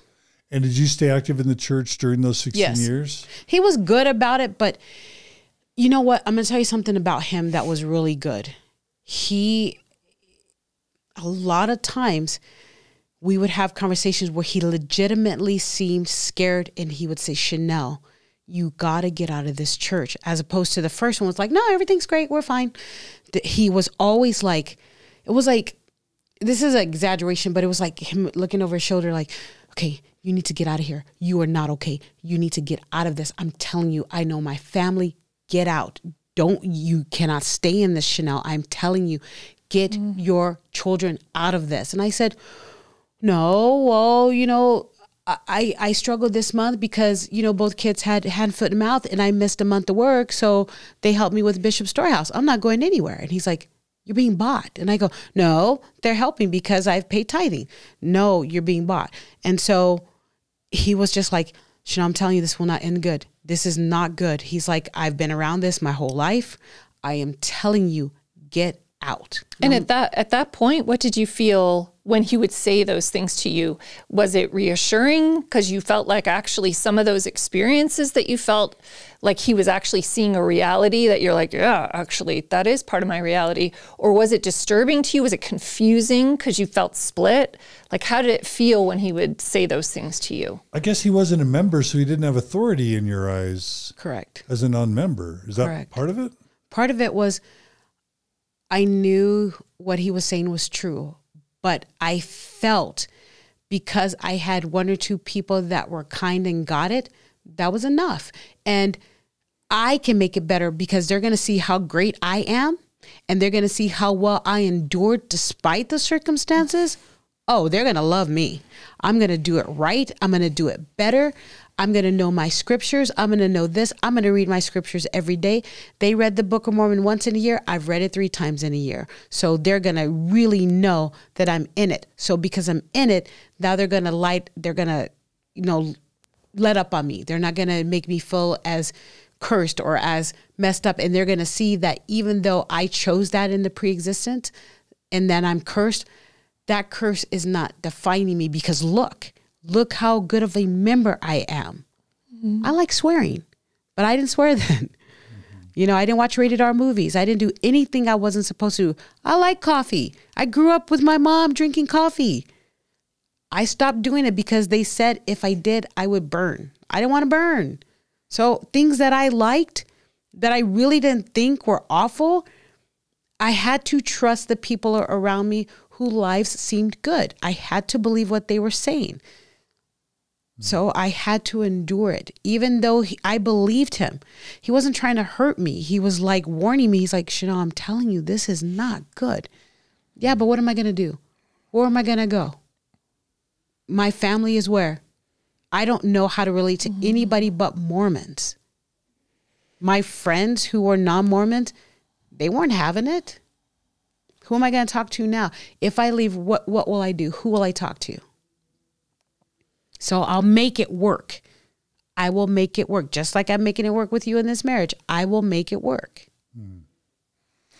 Because going back after you had that boyfriend between your first and second marriage, boyfriend, I say in quotes, dump you with really racist justifications, you said you almost left the church then. Oh, yeah. But it sounds like even though you married as your second husband a non-Mormon, something something pushed you to to keep going. Mm. Friends, what do you, don't you dare, Channel. You're just listening to apostates. You're just listening to the wrong people. You know, you're just upset. Right now, you're just upset. And because you're upset, you're not thinking clearly. And when you're upset, that breeds contention, contentions of the devil. You've lost the Holy Ghost. So you have to do the part and the work to get the Holy Ghost back so you can make better decisions. And I'm like, oh, mm. yeah, that makes sense. So, So it's so many conversions are social, Right. and so many people stay in the church yeah. for social or familial reasons that we we conflate with with the spirit because I always say the Holy Ghost feels a lot like social approval. Mm-hmm. Let me tell you. You know what I'm saying? And, and you know what? The adversary feels a lot like social rejection. Absolutely. Well, I had to learn to maneuver through this, and I I I finally realized, you know what? When do you get the most support and a pat on your back? Because remember, I'm needing to feel secure and that I'm that I'm great, not great, that I'm a good person and that I'm capable of having good lives. But how do I do that if I'm divorced, if I'm not financially uh, savvy, I struggle as a single mom? How do I win their support? That's how, when I give good talks, they love and support me. When I give good talks, that's when they talk to me. When I give eloquent prayers, that's when they talk to me. If I'm emotional about a scripture that they like and get emotional about, they relate to me. Oh, okay. So I got it. That's what I need to do. If I tell them what they want to hear, that they're the most spiritual people I've ever seen, and that their talk was the most amazing thing, that I was so moved that I thought it was going to be translated, they listen to me. But if I ask them questions, they don't have anything to do with me. Hmm. Got it. That's what I need to do. I'm thinking of this moment in in the Malcolm X book slash movie when when Malcolm X learns that if he if he you know when he's shining the shoes, if he behaves a certain way, he gets the tip and he gets the pat on the back. You know, I, I- don't know if he I think you oh, mentioned yeah. the term shuck and jive or something, Yes. but like it's almost like the race or the group of people in power train the people who aren't in power how to behave and the church want the I can imagine a bunch of white Mormons feeling uncomfortable about our racist past and present. But if we can have some people of color around, if we can influence them to stick around and occasionally give a good prayer or occasionally give a good talk or pay, occasionally appear in a church video saying, Hey, I'm black and the church treats me great. You can kind of pat them on the head, show them a little bit of attention Yep. And the function they serve in society is to make in the Mormon society is to help us all feel a little bit better Absolutely. about our racist past and present. And if we have to, you know, make you feel horrible, put you in a disadvantaged position, and then throw you a little welfare every once in a while or help you with a utility payment or whatever, I guess that's a small price to pay for your existence being there to help us feel a lot better about all our problems and our mistreatment of a whole group of people. I don't know if it hurts or is uncomfortable for me to be saying it that clearly, but that's just how I'm processing what I'm hearing. But that's the truth because I think about conversations I have with people where I'm like, "Hey, Brian, um, there's some stuff that happened in the church that I have a question about. Something that happened years ago, and stuff that's happening now. Can can I talk to you about it? Oh, sure, of course. Well, you know, when they said this in the Book of Mormon about the race. Oh, shut down, automatic body change. Whoa, whoa, whoa. That's uh, sister, stop, because that is headed to apostasy, and that is contention of the devil. I'm feeling uncomfortable and contentious. You can't do that. That is not of God. That's the Holy Ghost is not here. And I'm like, I I brought in a bad spirit. Yeah, you for asking a sincere yeah, question. like don't don't do that. That's so messed up. And by the way, you need to understand something. Um, Africa is growing. And the I'm church, like, the yeah, church in Africa. They're like the church in Africa is growing. I'm like, wait, what? What does that have to do with me? Like, what? And I said, but they're not growing for what you're teaching them. You are right. throwing things at them. I know because we're not teaching them about the racist. No, stuff, right? you're, you're you're not. So your discussions aren't. Hey, so Brian, here's here's the thing. So we have a history, we have some stuff we're working on with racism, and you're going to encounter that with members and non-members, but the church is true. Oh, okay. No in no informed consent. We're not having those conversations with not the African converts. Nope. Yeah. Yeah. No. Yeah.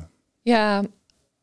I mean, this may seem obvious, but like this idea too of um, there's like a layering that goes on, I think, if we're going to talk about conditioning as white people.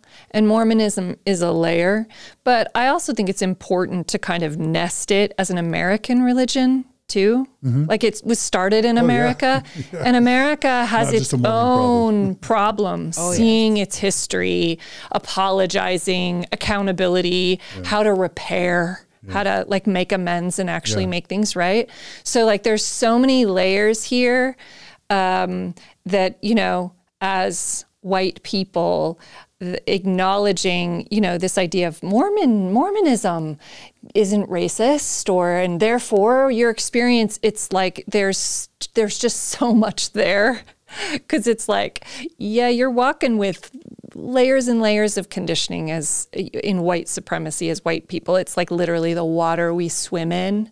Um, you know that there are many, many sources of conditioning going on here.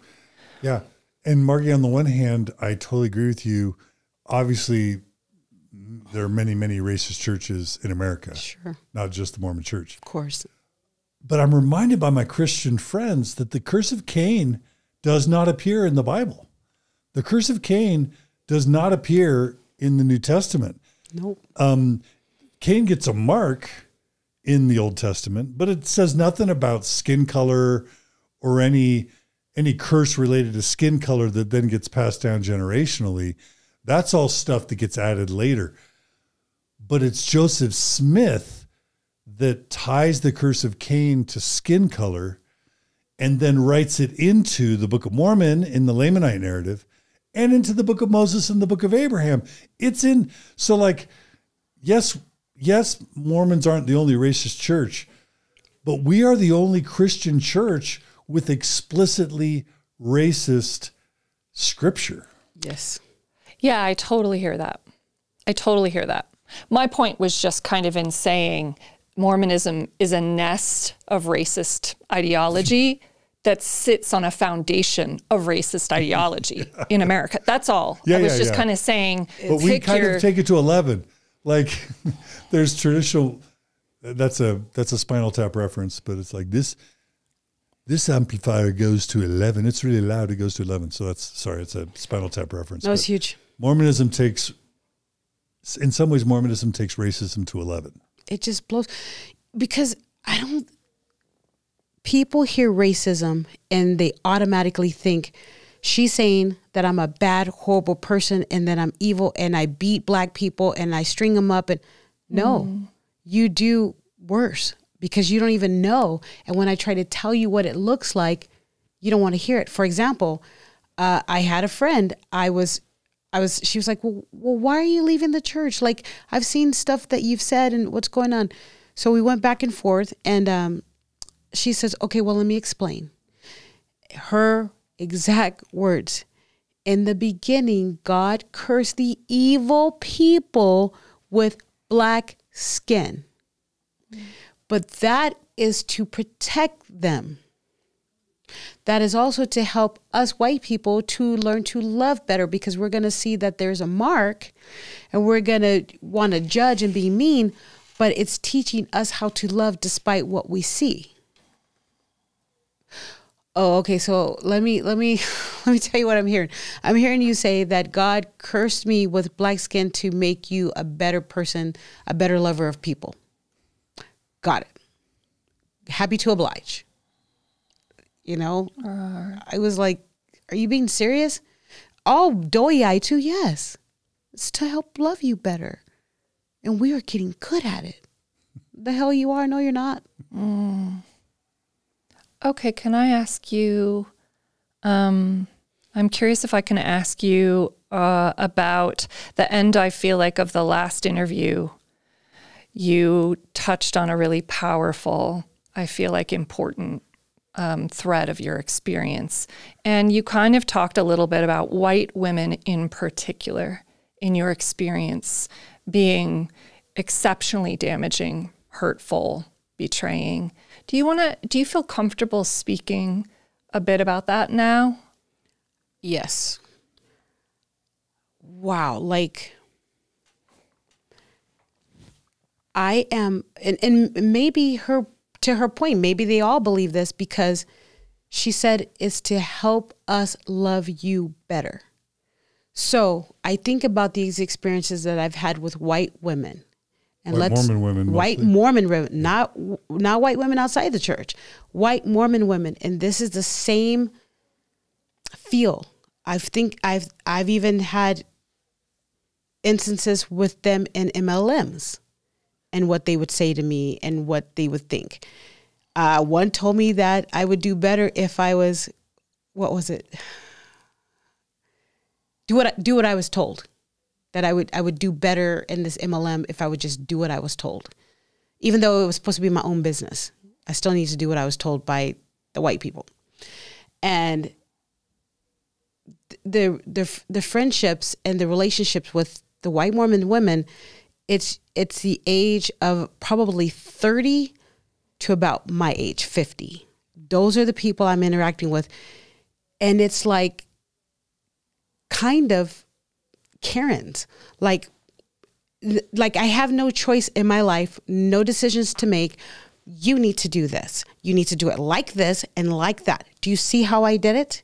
And I'm like, what? This is how they talk to me. And ah, my husband can attest to this. As we started dating, he started meeting my girlfriends. Um, you need to do it this way. No, no, no. You cannot watch that. Nope. You went to the club with your friend. You cannot do that. You cannot do this. That, that, that. That is how they talk to me. They talked down to me and scolded me. And if I didn't do it the way that they said, then the friendship was strained. I had one tell me, we were we're getting into it kind of hot and heavy because she started with the black on black crime. She's like, the reason why you guys have problems is because you don't know how to behave. You're not good people. Look at your communities. I was like, really? And she's like, yeah. And she says, and the reason why your life is the way it is is because you make really bad choices. You make horrible choices. So you're getting what you deserve. And I was like, oh, okay. And I said, so what I'm hearing is that you think you're better than me. She said, yes, obviously. She said, I am way better than you. I live the gospel. Look at my life. Look at yours. How many times have you been married? That's because you're a bad person. But I love you okay, lady, you just punched me in the face and now said you love me. I don't want that kind of love. Mm. I mean, it was, it was, I mean, just how they talk like that. So, in consistently misunderstanding what I'm saying to them and then coming at me. I mean, some of these things are public on Facebook. Um, I mean, one, all I said was that I loved her. I loved her so much. In fact, I loved her so much. My daughter and I went to her house and we told her, we have not felt such a good feeling. And and my my daughter still kind of like religious said she described it as like the spirit. She said, "Mom, I felt such a good spirit in her house." Me, I was kind of like, mm, I don't know how I feel about that spirit and God stuff right now, but she was right. I don't sleep very well. I suffer immensely with insomnia. But when I was at her house, I was like getting tired because I felt comfortable. And so she wa she says some pretty racist things and she says some pretty ignorant clueless things. I meant her well. I was trying to help her. I didn't want people seeing because people on the side were telling me things about her. Like people that she thinks are her friends are actually telling me uh, we don't agree with her but we're not going to start anything uh, she's wrong. And so i worried for her. I really loved her. And so one day i called her clueless. I said that is clueless. You're clueless I meant it. I'm clueless of a lot of things. I didn't think clueless was a bad word. She lost it. I mean, she just went crazy, started insulting me and saying, You're a terrible person. You're not my friend. You're not this. You're not that. Well, a lot of times I would, something she would post, I would put it in uh, the forum with my friends and we would discuss it. And I, I was trying to, so she said, Your triggers are your problem. She posted something where it says, um, People that have triggers, your triggers are your problem. So I called her on it. Your triggers are your problem. I'm trying to help you. I'm trying to tell you those things are not good. You like to try to tell me about my behavior to help me. I do care about you. This is not smart, lady. This is not this is racist. This is not good. Yeah, just to be clear, the stuff you're calling her clueless about are opinions that she's publicly sharing Correct. about black people about black people, about LGBTQ. I mean, she mm. is just like not getting it. So bigotry. She's basically saying bigoted things, really about blatant about ones. black people and LGBT people publicly on the internet.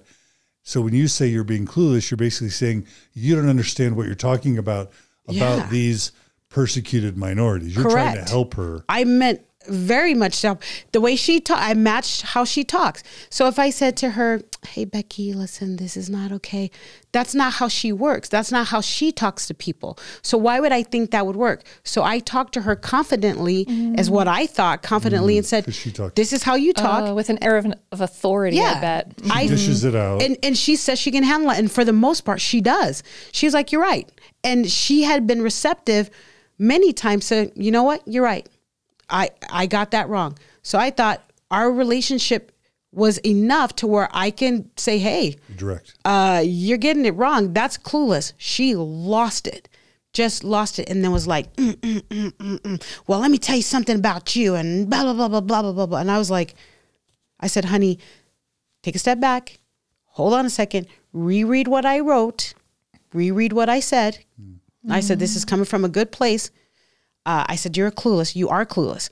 I am clueless about this, this, this, is not. I didn't mean harm. Maybe I can choose a better word, but you don't know. You're not in these spaces. You can't understand. And you are harming people by the things that you're saying. I mean, they had they posted these horrible, horrible um, memes and quotes about Kamala, Kamala Harris. And I was like, you keep insulting black woman women. I'm a black woman. Mm-hmm. I see your post. Mm-hmm. And she didn't take that well. That's also like boundary, by the way, which is brilliant. But it's like, I love this idea of like, you know, giving her feedback, direct feedback, and you have every right to protect yourself in those situations, you know, because she's doing harm and you're in relationship with her to to say absolutely not. Like right now, this is causing harm. You are not seeing that you are causing me, your like friend or supposed friend, harm with the things that you're saying. So I, I just, you know, I have to be careful about how I talk about this, but because we're talking about it, I want to just address one quick thing. You know, um, so there's there's politics, which is like, oh, I like Republican policies, sure. I like conservative policies, or I'm Democrat, I like liberal policies, and that reasonable people can have reasonable points of view about policy on either side. This is a nonpartisan show, period. Okay. Yes. There was a level of animosity that I saw towards Barack and Michelle Obama. Yes. And that I saw, that I see about Kamala Harris. Setting aside Barack Obama's politics, correct. Setting aside Kamala's politics, correct. I before Barack Obama, I never heard anyone refer to a president as the devil, yeah. as Satan. Somehow that crept into the acceptable political discourse once Obama became president, where all of a sudden it was okay to call a president the devil. Literally. And and again, uh, you know, I know that Kamala Harris has a personality just like Hillary Clinton as a strong woman. Sure. and we could talk about misogyny after we talk about racism. Like, I understand why a strong woman being vocal rubs a lot of people the wrong way. Sure. But but the level of animosity that sometimes is leveled towards black political figures is people people can hide racism in a cloak of political partisanship. And it's it's troubling when you see it happen. Well, uh, for me and i imagine it's probably more troubling for you. Like you said politics aside we're not talking about politics we're talking about the people that are in politics. And this is what you have to understand. As i read my journal um, so for a long time people would compliment me and say your hair looks nice. You look pretty. And i would lose it. I would start sobbing and they're like, okay, that's not a good response. Well, in Mormonism, everything about being black makes me ugly. Okay. They were saying Michelle Obama was ugly and that she looked like a man. Mm. They were saying Kamala Harris is ugly. She looks like a monkey and a cheetah. They were saying Ketanji uh, Jackson, the justice, she looks weird with her hair. Beyonce is a whore. Um, all of these derogatory things about black women, yet the white women that were actually doing these naughty things, they have a word to say. We know about certain people's wives, other presidents' wives, what they've done. I didn't bring that up. But, and then to say that black women are masculine and ugly and look like apes and look like men. And to talk about Serena Williams to then to just shred Meghan Markle compared to Kate y'all don't like black women. I don't care what you say because I'm seeing all of your Facebook is a different place than TikTok or Instagram. These are people that you both have chosen to add as friends so and they're not hiding behind fake names. They're uh, using their real names. They are using their real names. Yeah. And they are just shredding Rihanna. They are shredding Ketanji. And mm. so they're they're shredding me too. Not only are they shredding me by shredding these women, but they are actively saying things to me. And the yeah, the point I'm making is they're they're they're not saying necessarily anything about blackness they're hiding it in political political oh, differences of or of course more general features. Sure. But it's kind of obvious that it's dripping with racism just with the words kind of swapped out. It's well, kind I of that. Oh yeah, sorry. Oh, go ahead. No, you go ahead. It's kind of the difference between like that covert versus overt yeah. racism. Yeah, it's covert. Yeah. Yeah. Sorry. Uh, and may not even feel covert to you. What were you going to say? No, yeah. she's she's right. And what I noticed is that the, I would say, you know what, I'm going to step back and not feel hurt.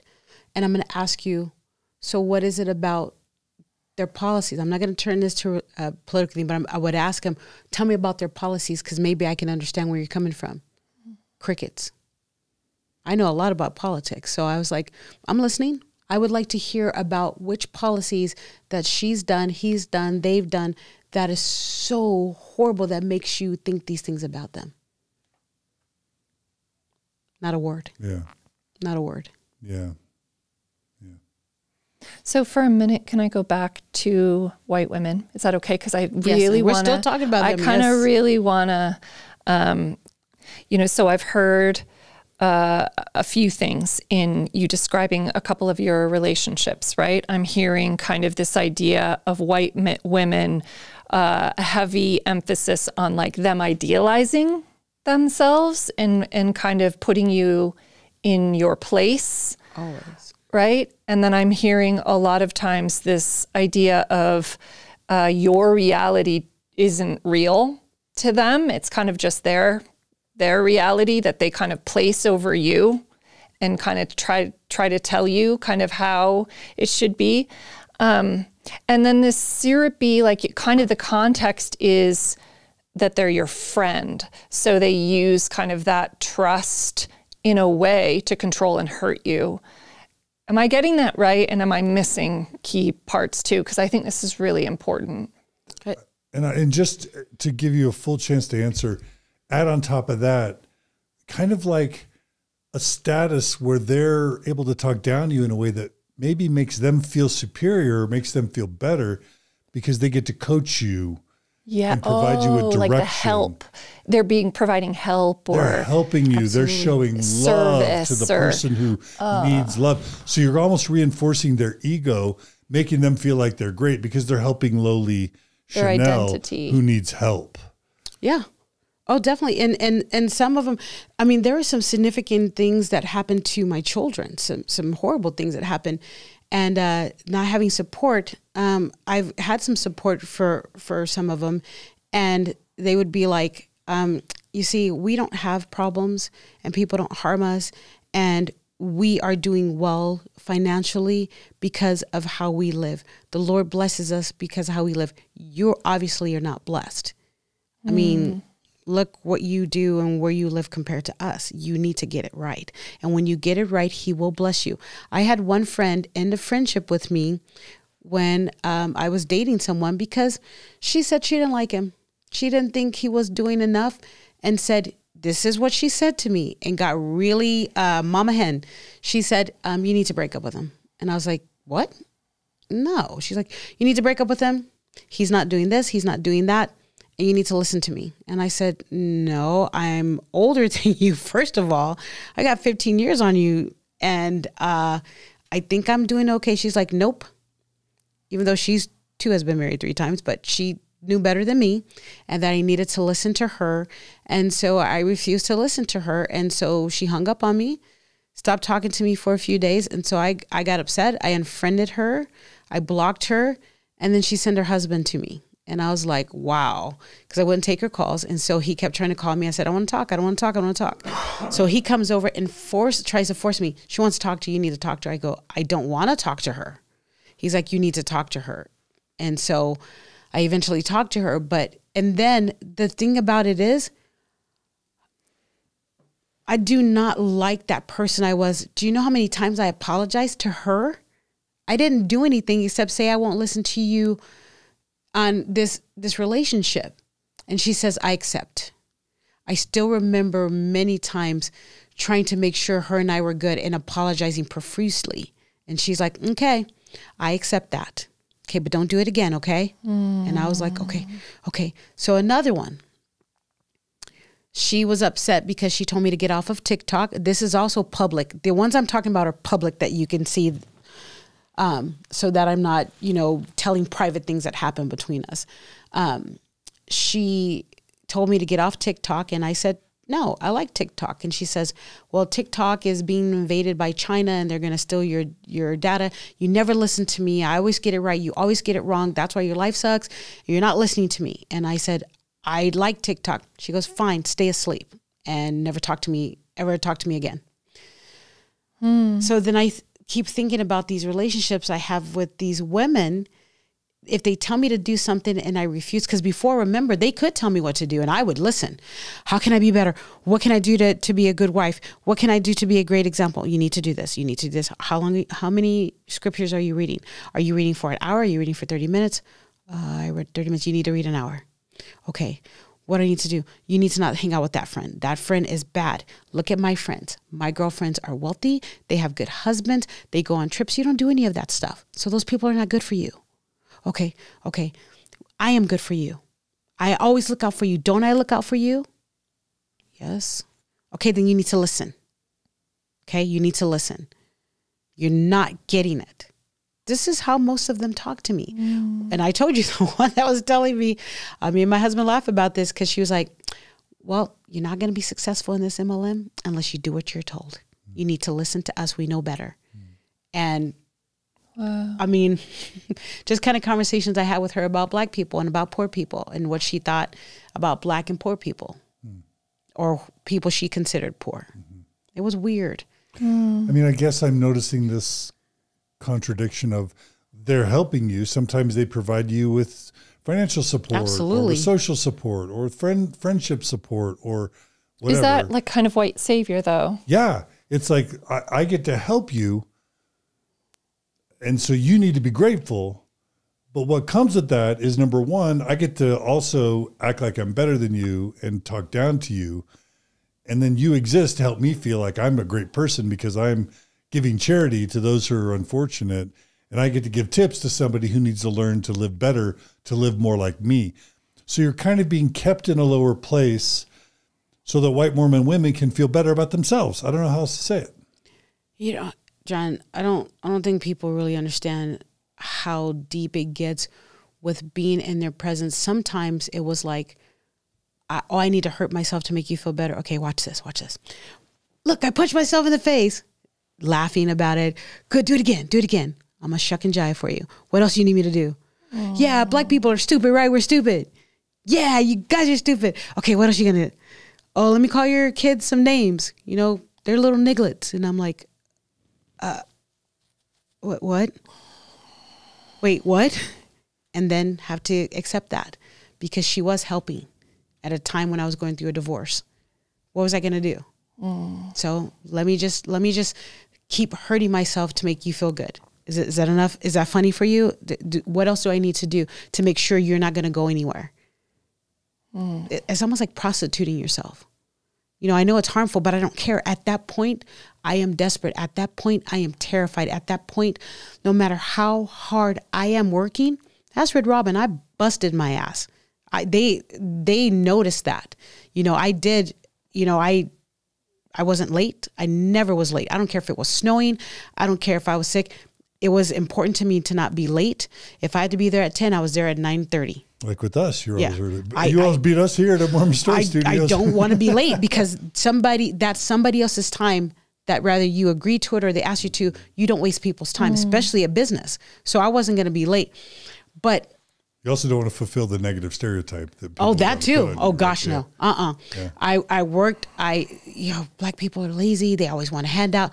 No, I busted my ass and it still wasn't enough. Hmm.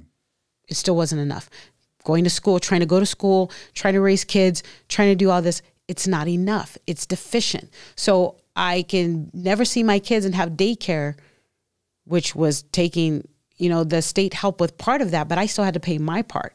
So I'm supposed to manage a car payment, supposed to manage insurance, manage my household, and manage daycare. Daycare for two kids, even back then, that was more than my rent, car, and insurance. Yeah. But I had to work and just uh, you need to get a better job. Okay. So if I get a better job, this is what the job requires that I don't miss work. I have children. I will miss work. I have babies that are 15 months apart. I will miss work. The restaurant is flexible because if I call in, they can implement another server or they can give somebody to cover. Other jobs, it's not like that, and they will fire you. Yeah. It reminds me too when you're talking of using it's actually privilege their lives. A lot of um, well, I'll just speak for myself.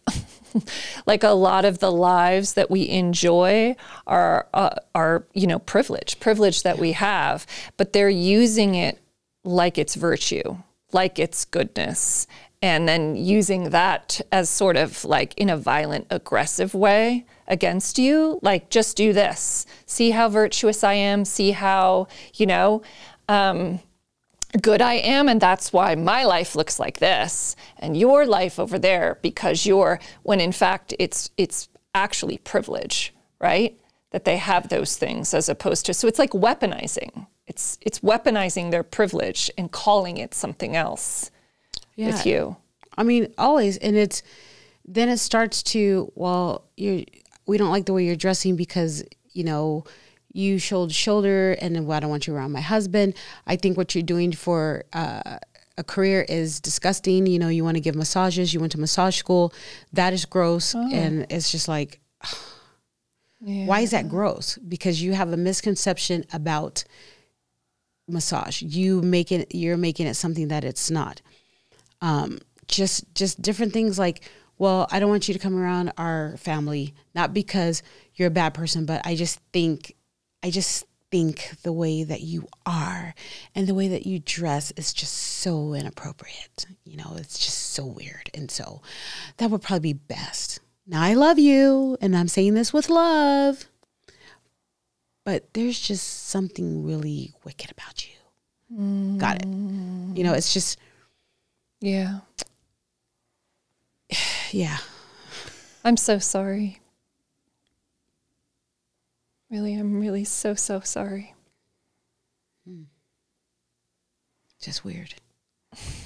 And if you went back to these, let's just say white Mormon women to try and have this conversation, I imagine what they would think in their minds is, but we helped her. We we helped her so many times. That's what they keep saying.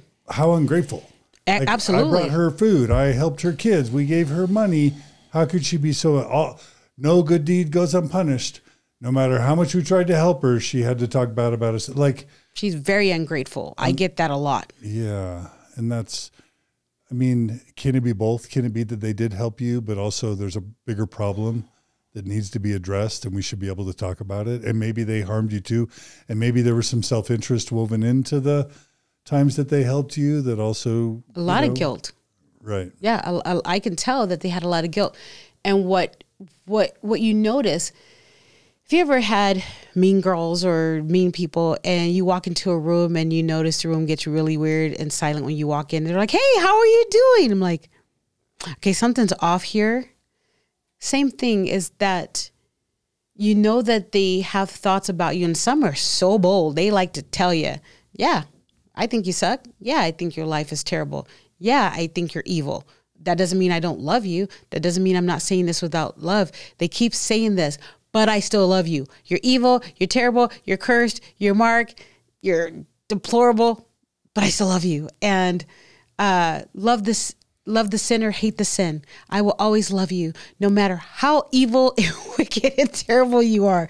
I'm still gonna love you, but I'm not gonna be nice to you. I'm not gonna have you over anymore. I'm gonna ignore you. I'm gonna uh, be passive aggressive and say things to you. I'm going to make, I'm not going to interact with anything you say great that's happening in your life. But when you say something I don't like, I'm going to come up and say something mean to you because I love you. that is my relationship with these women. Mm. It's, but the, the other thing is, I just talked to a woman yesterday who's been my friend for 22 years. I work with her at Red Robin She's white, she's not Mormon. What did she do? She's extremely busy. She's wealthy. She her and her husband have a wonderful company that they participate in. And what did she do? She Marco Poloed me and said, Hey, I got some time. And she, the way she looked at me was like, she was like, she goes, Tell me what you're doing. Cause I know you're going crazy right now with all the Hallmark Christmas movies. Tell me what you're doing. That's how hard is that? How hard is that for these other women to do that? She sees what I post sometimes. She doesn't always agree with what I post. She doesn't always agree with what what who or what I'm about. But this is how she was. She's like, "Oh my gosh, Channel, I know that your 13 trees are about to get decorated. I know this. Oh my gosh, and then you your grandson had his birthday. Blah blah blah blah blah blah." That was a conversation. How hard is that? She sees you. She yes. sees me. She sees me. Mm-hmm. She's my cheerleader. It's not that hard. Right. And back to your comment, just one idea I have about when you were bringing out, um, well, did like it sounds like the white women helped you some and then hurt you some, and but it can maybe it's both. Maybe they did actually help you. I just always fall back to that Alok, now like that Alok statement about a use versus care and I think sometimes the the you know it gets real real messy there. But what I'm hearing anyway from Channel is this idea of feeling so used by white women, feeling so much commentary as like that's what I'm hearing. Uh, having white women feel like they can truly comment um, from the white kind of reality point of view in a way that's using it's it's not care because what I'm hearing is you don't feel seen. Your reality isn't seen. You're not heard. You're not actually, you know, valued in that way. And so for me, it feels abusive. It feels abusive to give in one moment uh, here's money or here's something you need that we see that systemically you, you don't get to have because you don't have the privilege we have. So here, enjoy that. But it, the cost to you is that I actually view you as less than me. And I'm going to remind you of that. And anytime you share voice or spirit with me, I'm going to put you back where you belong. That to me is abusive. Um, much like another abusive relationship where sometimes you get flowers or chocolates after you're beaten. Um, to me, it's not that different. Um, so I really appreciate you sharing something that clearly has been really painful for you in your life. Yeah, I um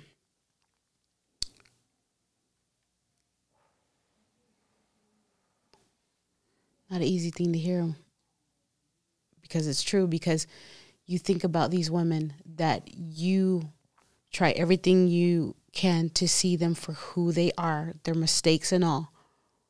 But they refuse to do that for you. Why is that so hard? And a woman on TikTok said, um, fear. She said, yeah, we're, we're afraid of you guys, but it's not for the reason that you think. And uh, why would you kick? I, I hate this analogy, but I don't know any other way to help people understand. Why would you kick a dog that keeps licking you, loves you, lets you pet him, um, and you kick it and it keeps coming back, and you kick it and you feed it, and then you kick it and then it comes back again because it thinks and believes, well, you feed it, you must love it. And when I think about these women, I am not their equal. And they've explained that. I couldn't be their equal because they are motivated by material things. They're motivated by material things. And they're like, you don't have these things. So you are not the same as us. And the reason why I we're able to treat you like this is because you deserve it because you don't say nice things. You say things we don't like. What do you think's going to happen? Meaning you criticize the church that they Correct. Mm. That's what you get. That's what you deserve. But even before that, what about when I was active? What is their reasoning then? It's a treadmill. They just keep you on the treadmill. Mm-hmm. You're always hustling to be good enough. No matter where you are, you're never good enough, and you always have to keep hustling. But even trying to move forward a little bit, that's not right. I mean, what kind of mother leaves her kids and goes and do, does that? You need a husband. Stay there. But consistently telling me a place I belong and putting me there. No, we're going to grab you and put you right back there. You stay right there. Do as you're told.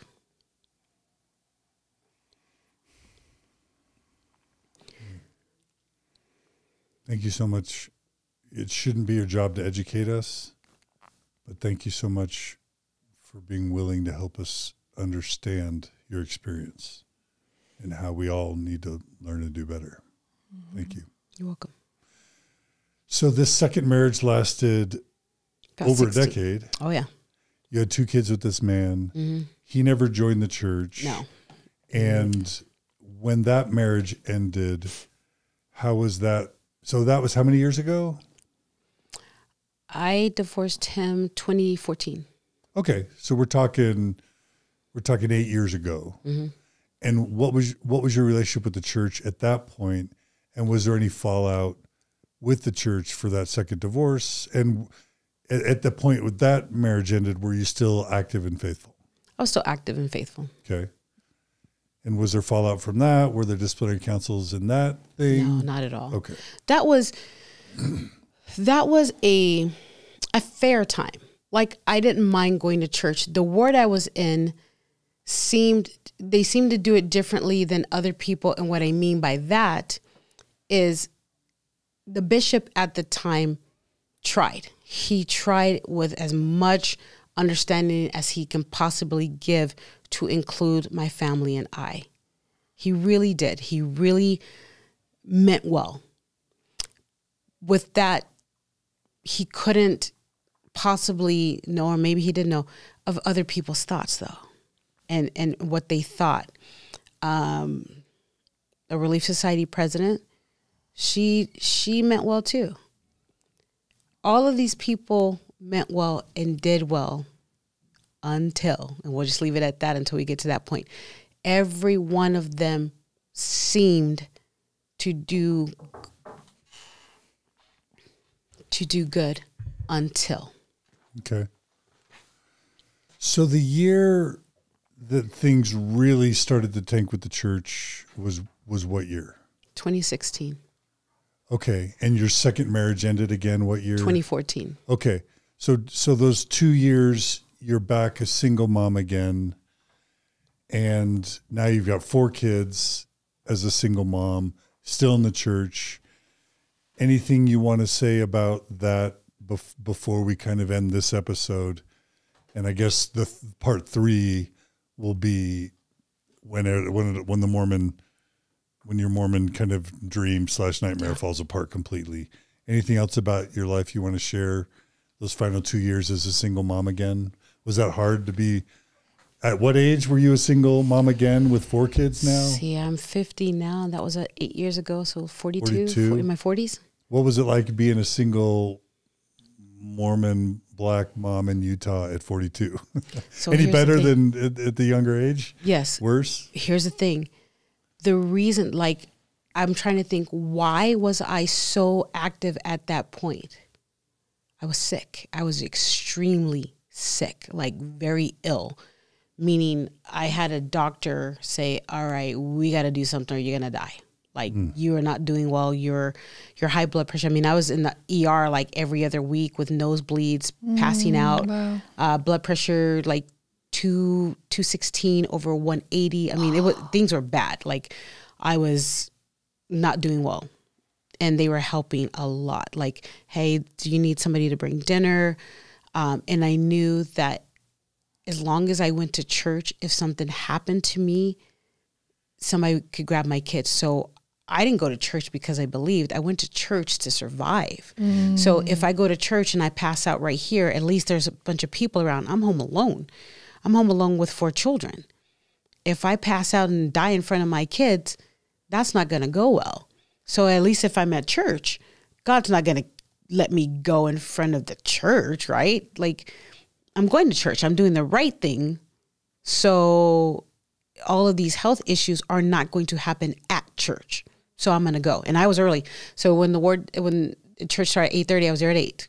Front row, ready to go. I'm not dying at church. I know that. Nothing happened at church. And, I, and I don't want to say that the Mormonism was the cause of your illnesses, but I just can't imagine f- several decades of living under this, what I would say is a culturally oppressive slash, to your point, Margie, abusive system, how that couldn't impact your physical mm-hmm. health.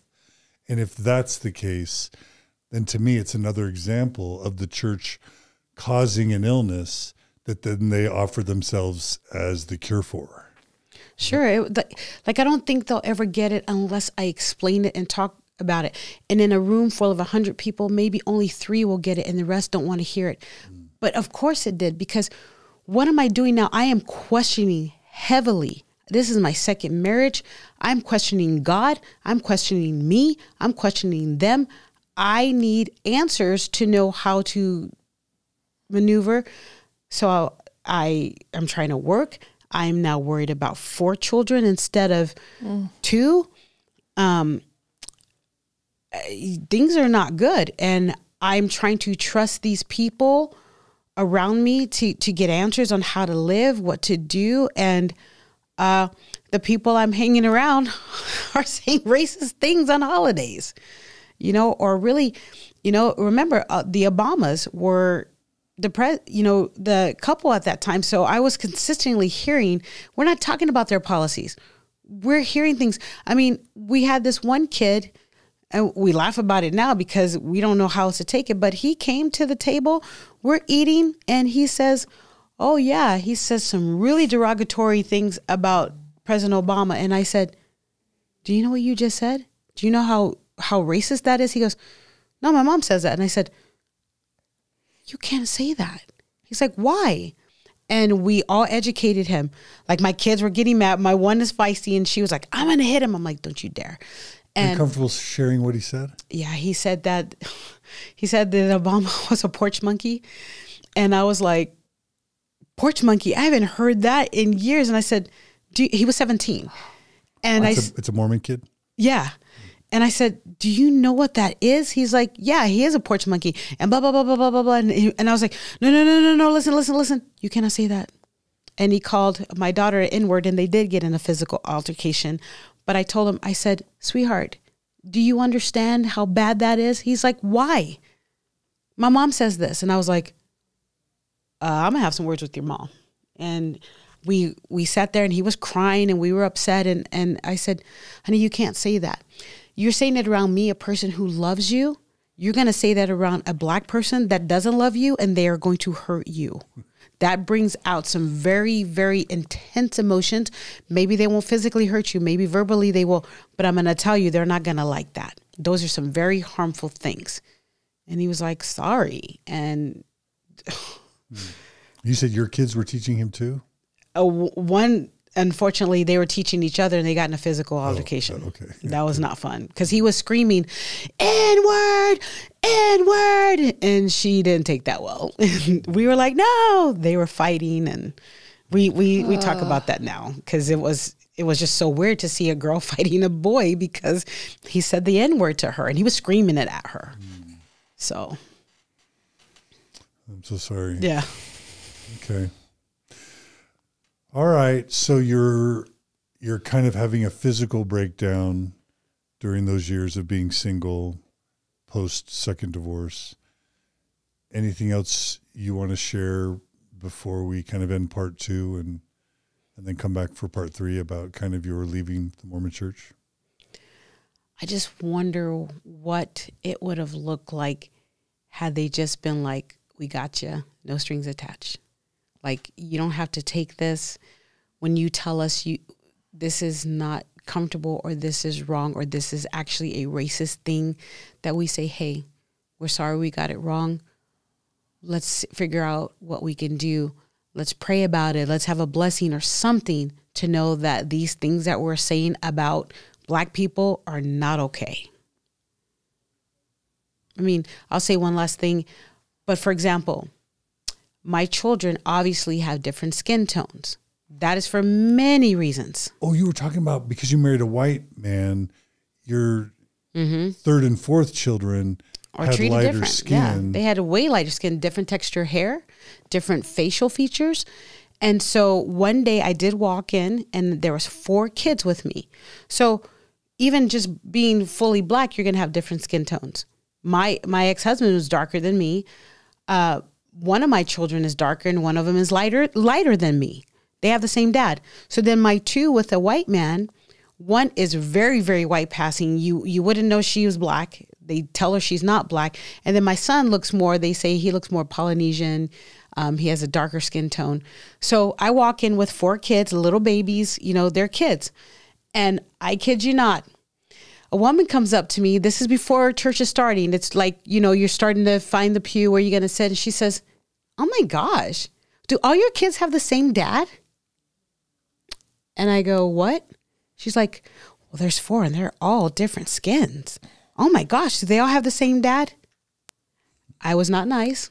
I said, Ask your husband. And I walked away and I went and sat down. I was really angry. I was very offended um, that was just not a good question. That like who cares?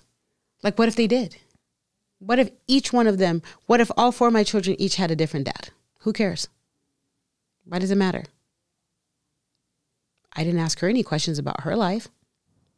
Yeah, I was not nice. And on the one hand, I guess all over the world, people are going to say and do racist things. This is the church that claims to be led by God. Exactly. This is the church that claims to be led by Jesus. This is the church with hundreds of billions of dollars and the church that claims to love black people and that could educate 5 million members in a weekend mm-hmm. and make it all better. And so I guess where much is given, kind of much is expected. The church in a weekend could could solve that problem. Absolutely. But they but they don't. They say, you know, they'll say whatever PR things they can say to avoid an actual apology. And then to say, look, we donated a couple million dollars to the NCAA, P, NAACP. We're not racist. Those those things that were said in the past, that's folklore. That's not they could fix it, but they don't. They put lipstick on, you know, something. they can fix it. Yeah. General conference, they can fix it. Yeah. But they know what they've created won't accept that. That will not go well. Because mm. there's too many racist members Absolutely. That would leave the church or question the you know the inspiration of the leaders if they recanted if they explicitly denounced and apologized for their racist past they would lose too many of the racist members they themselves created from the church Yep. is that unfair That is absolutely fair. And they're tithing dollars. yeah Of course. yeah and these days the church can't afford to be losing anybody because they're losing people in droves anyway Oh yeah. This would just the Exodus. the- I don't think they could withstand that. It will crumble, and different sects will start. Yeah. Hmm. Yeah. Yeah. That's super hard. All right. Yeah. Well, I guess should we say that's part two of our interview Yep. with Channel Achenbach? and uh, we're gonna grab lunch, and then we'll come right back Yeah. either later today or another time, and we're gonna do part three, which is how the the Mormon dream, and I say that Channel's Mormon dream, how it uh, how it fell apart Yeah. And maybe All a, and maybe with a touch hard. of reconstruction. Yes. with a heavy dose of reconstruction. Yeah, 'Cause it's- You, you you strike me as a happy, healthy person, so so you've done some healing and growing. So when you have a disease and you took the medication and you no longer have that disease, you're gonna feel better. That's the best way I can describe it. Ooh, stay tuned for Beautiful. part three. Yeah. Do not go away. Come right back because part three is going to be good. Channel, none of us probably understand how courageous and resilient um, it is for you to be telling these stories today. And you mm. you tell these stories so gracefully. Mm. You're just so used to mm. being strong and resilient. But I know this isn't fun, easy stuff to talk about. So thank you. You're welcome. Yeah. Yeah. Thank you. And thank you, Margie. Yeah. You're brilliant as always. Yeah. I'm grateful to be here. All right. All right, everyone. Thanks for joining us today. Come right back for part three of our interview with Channel Achenbach about her Mormon story. Take care. See you on the flip side.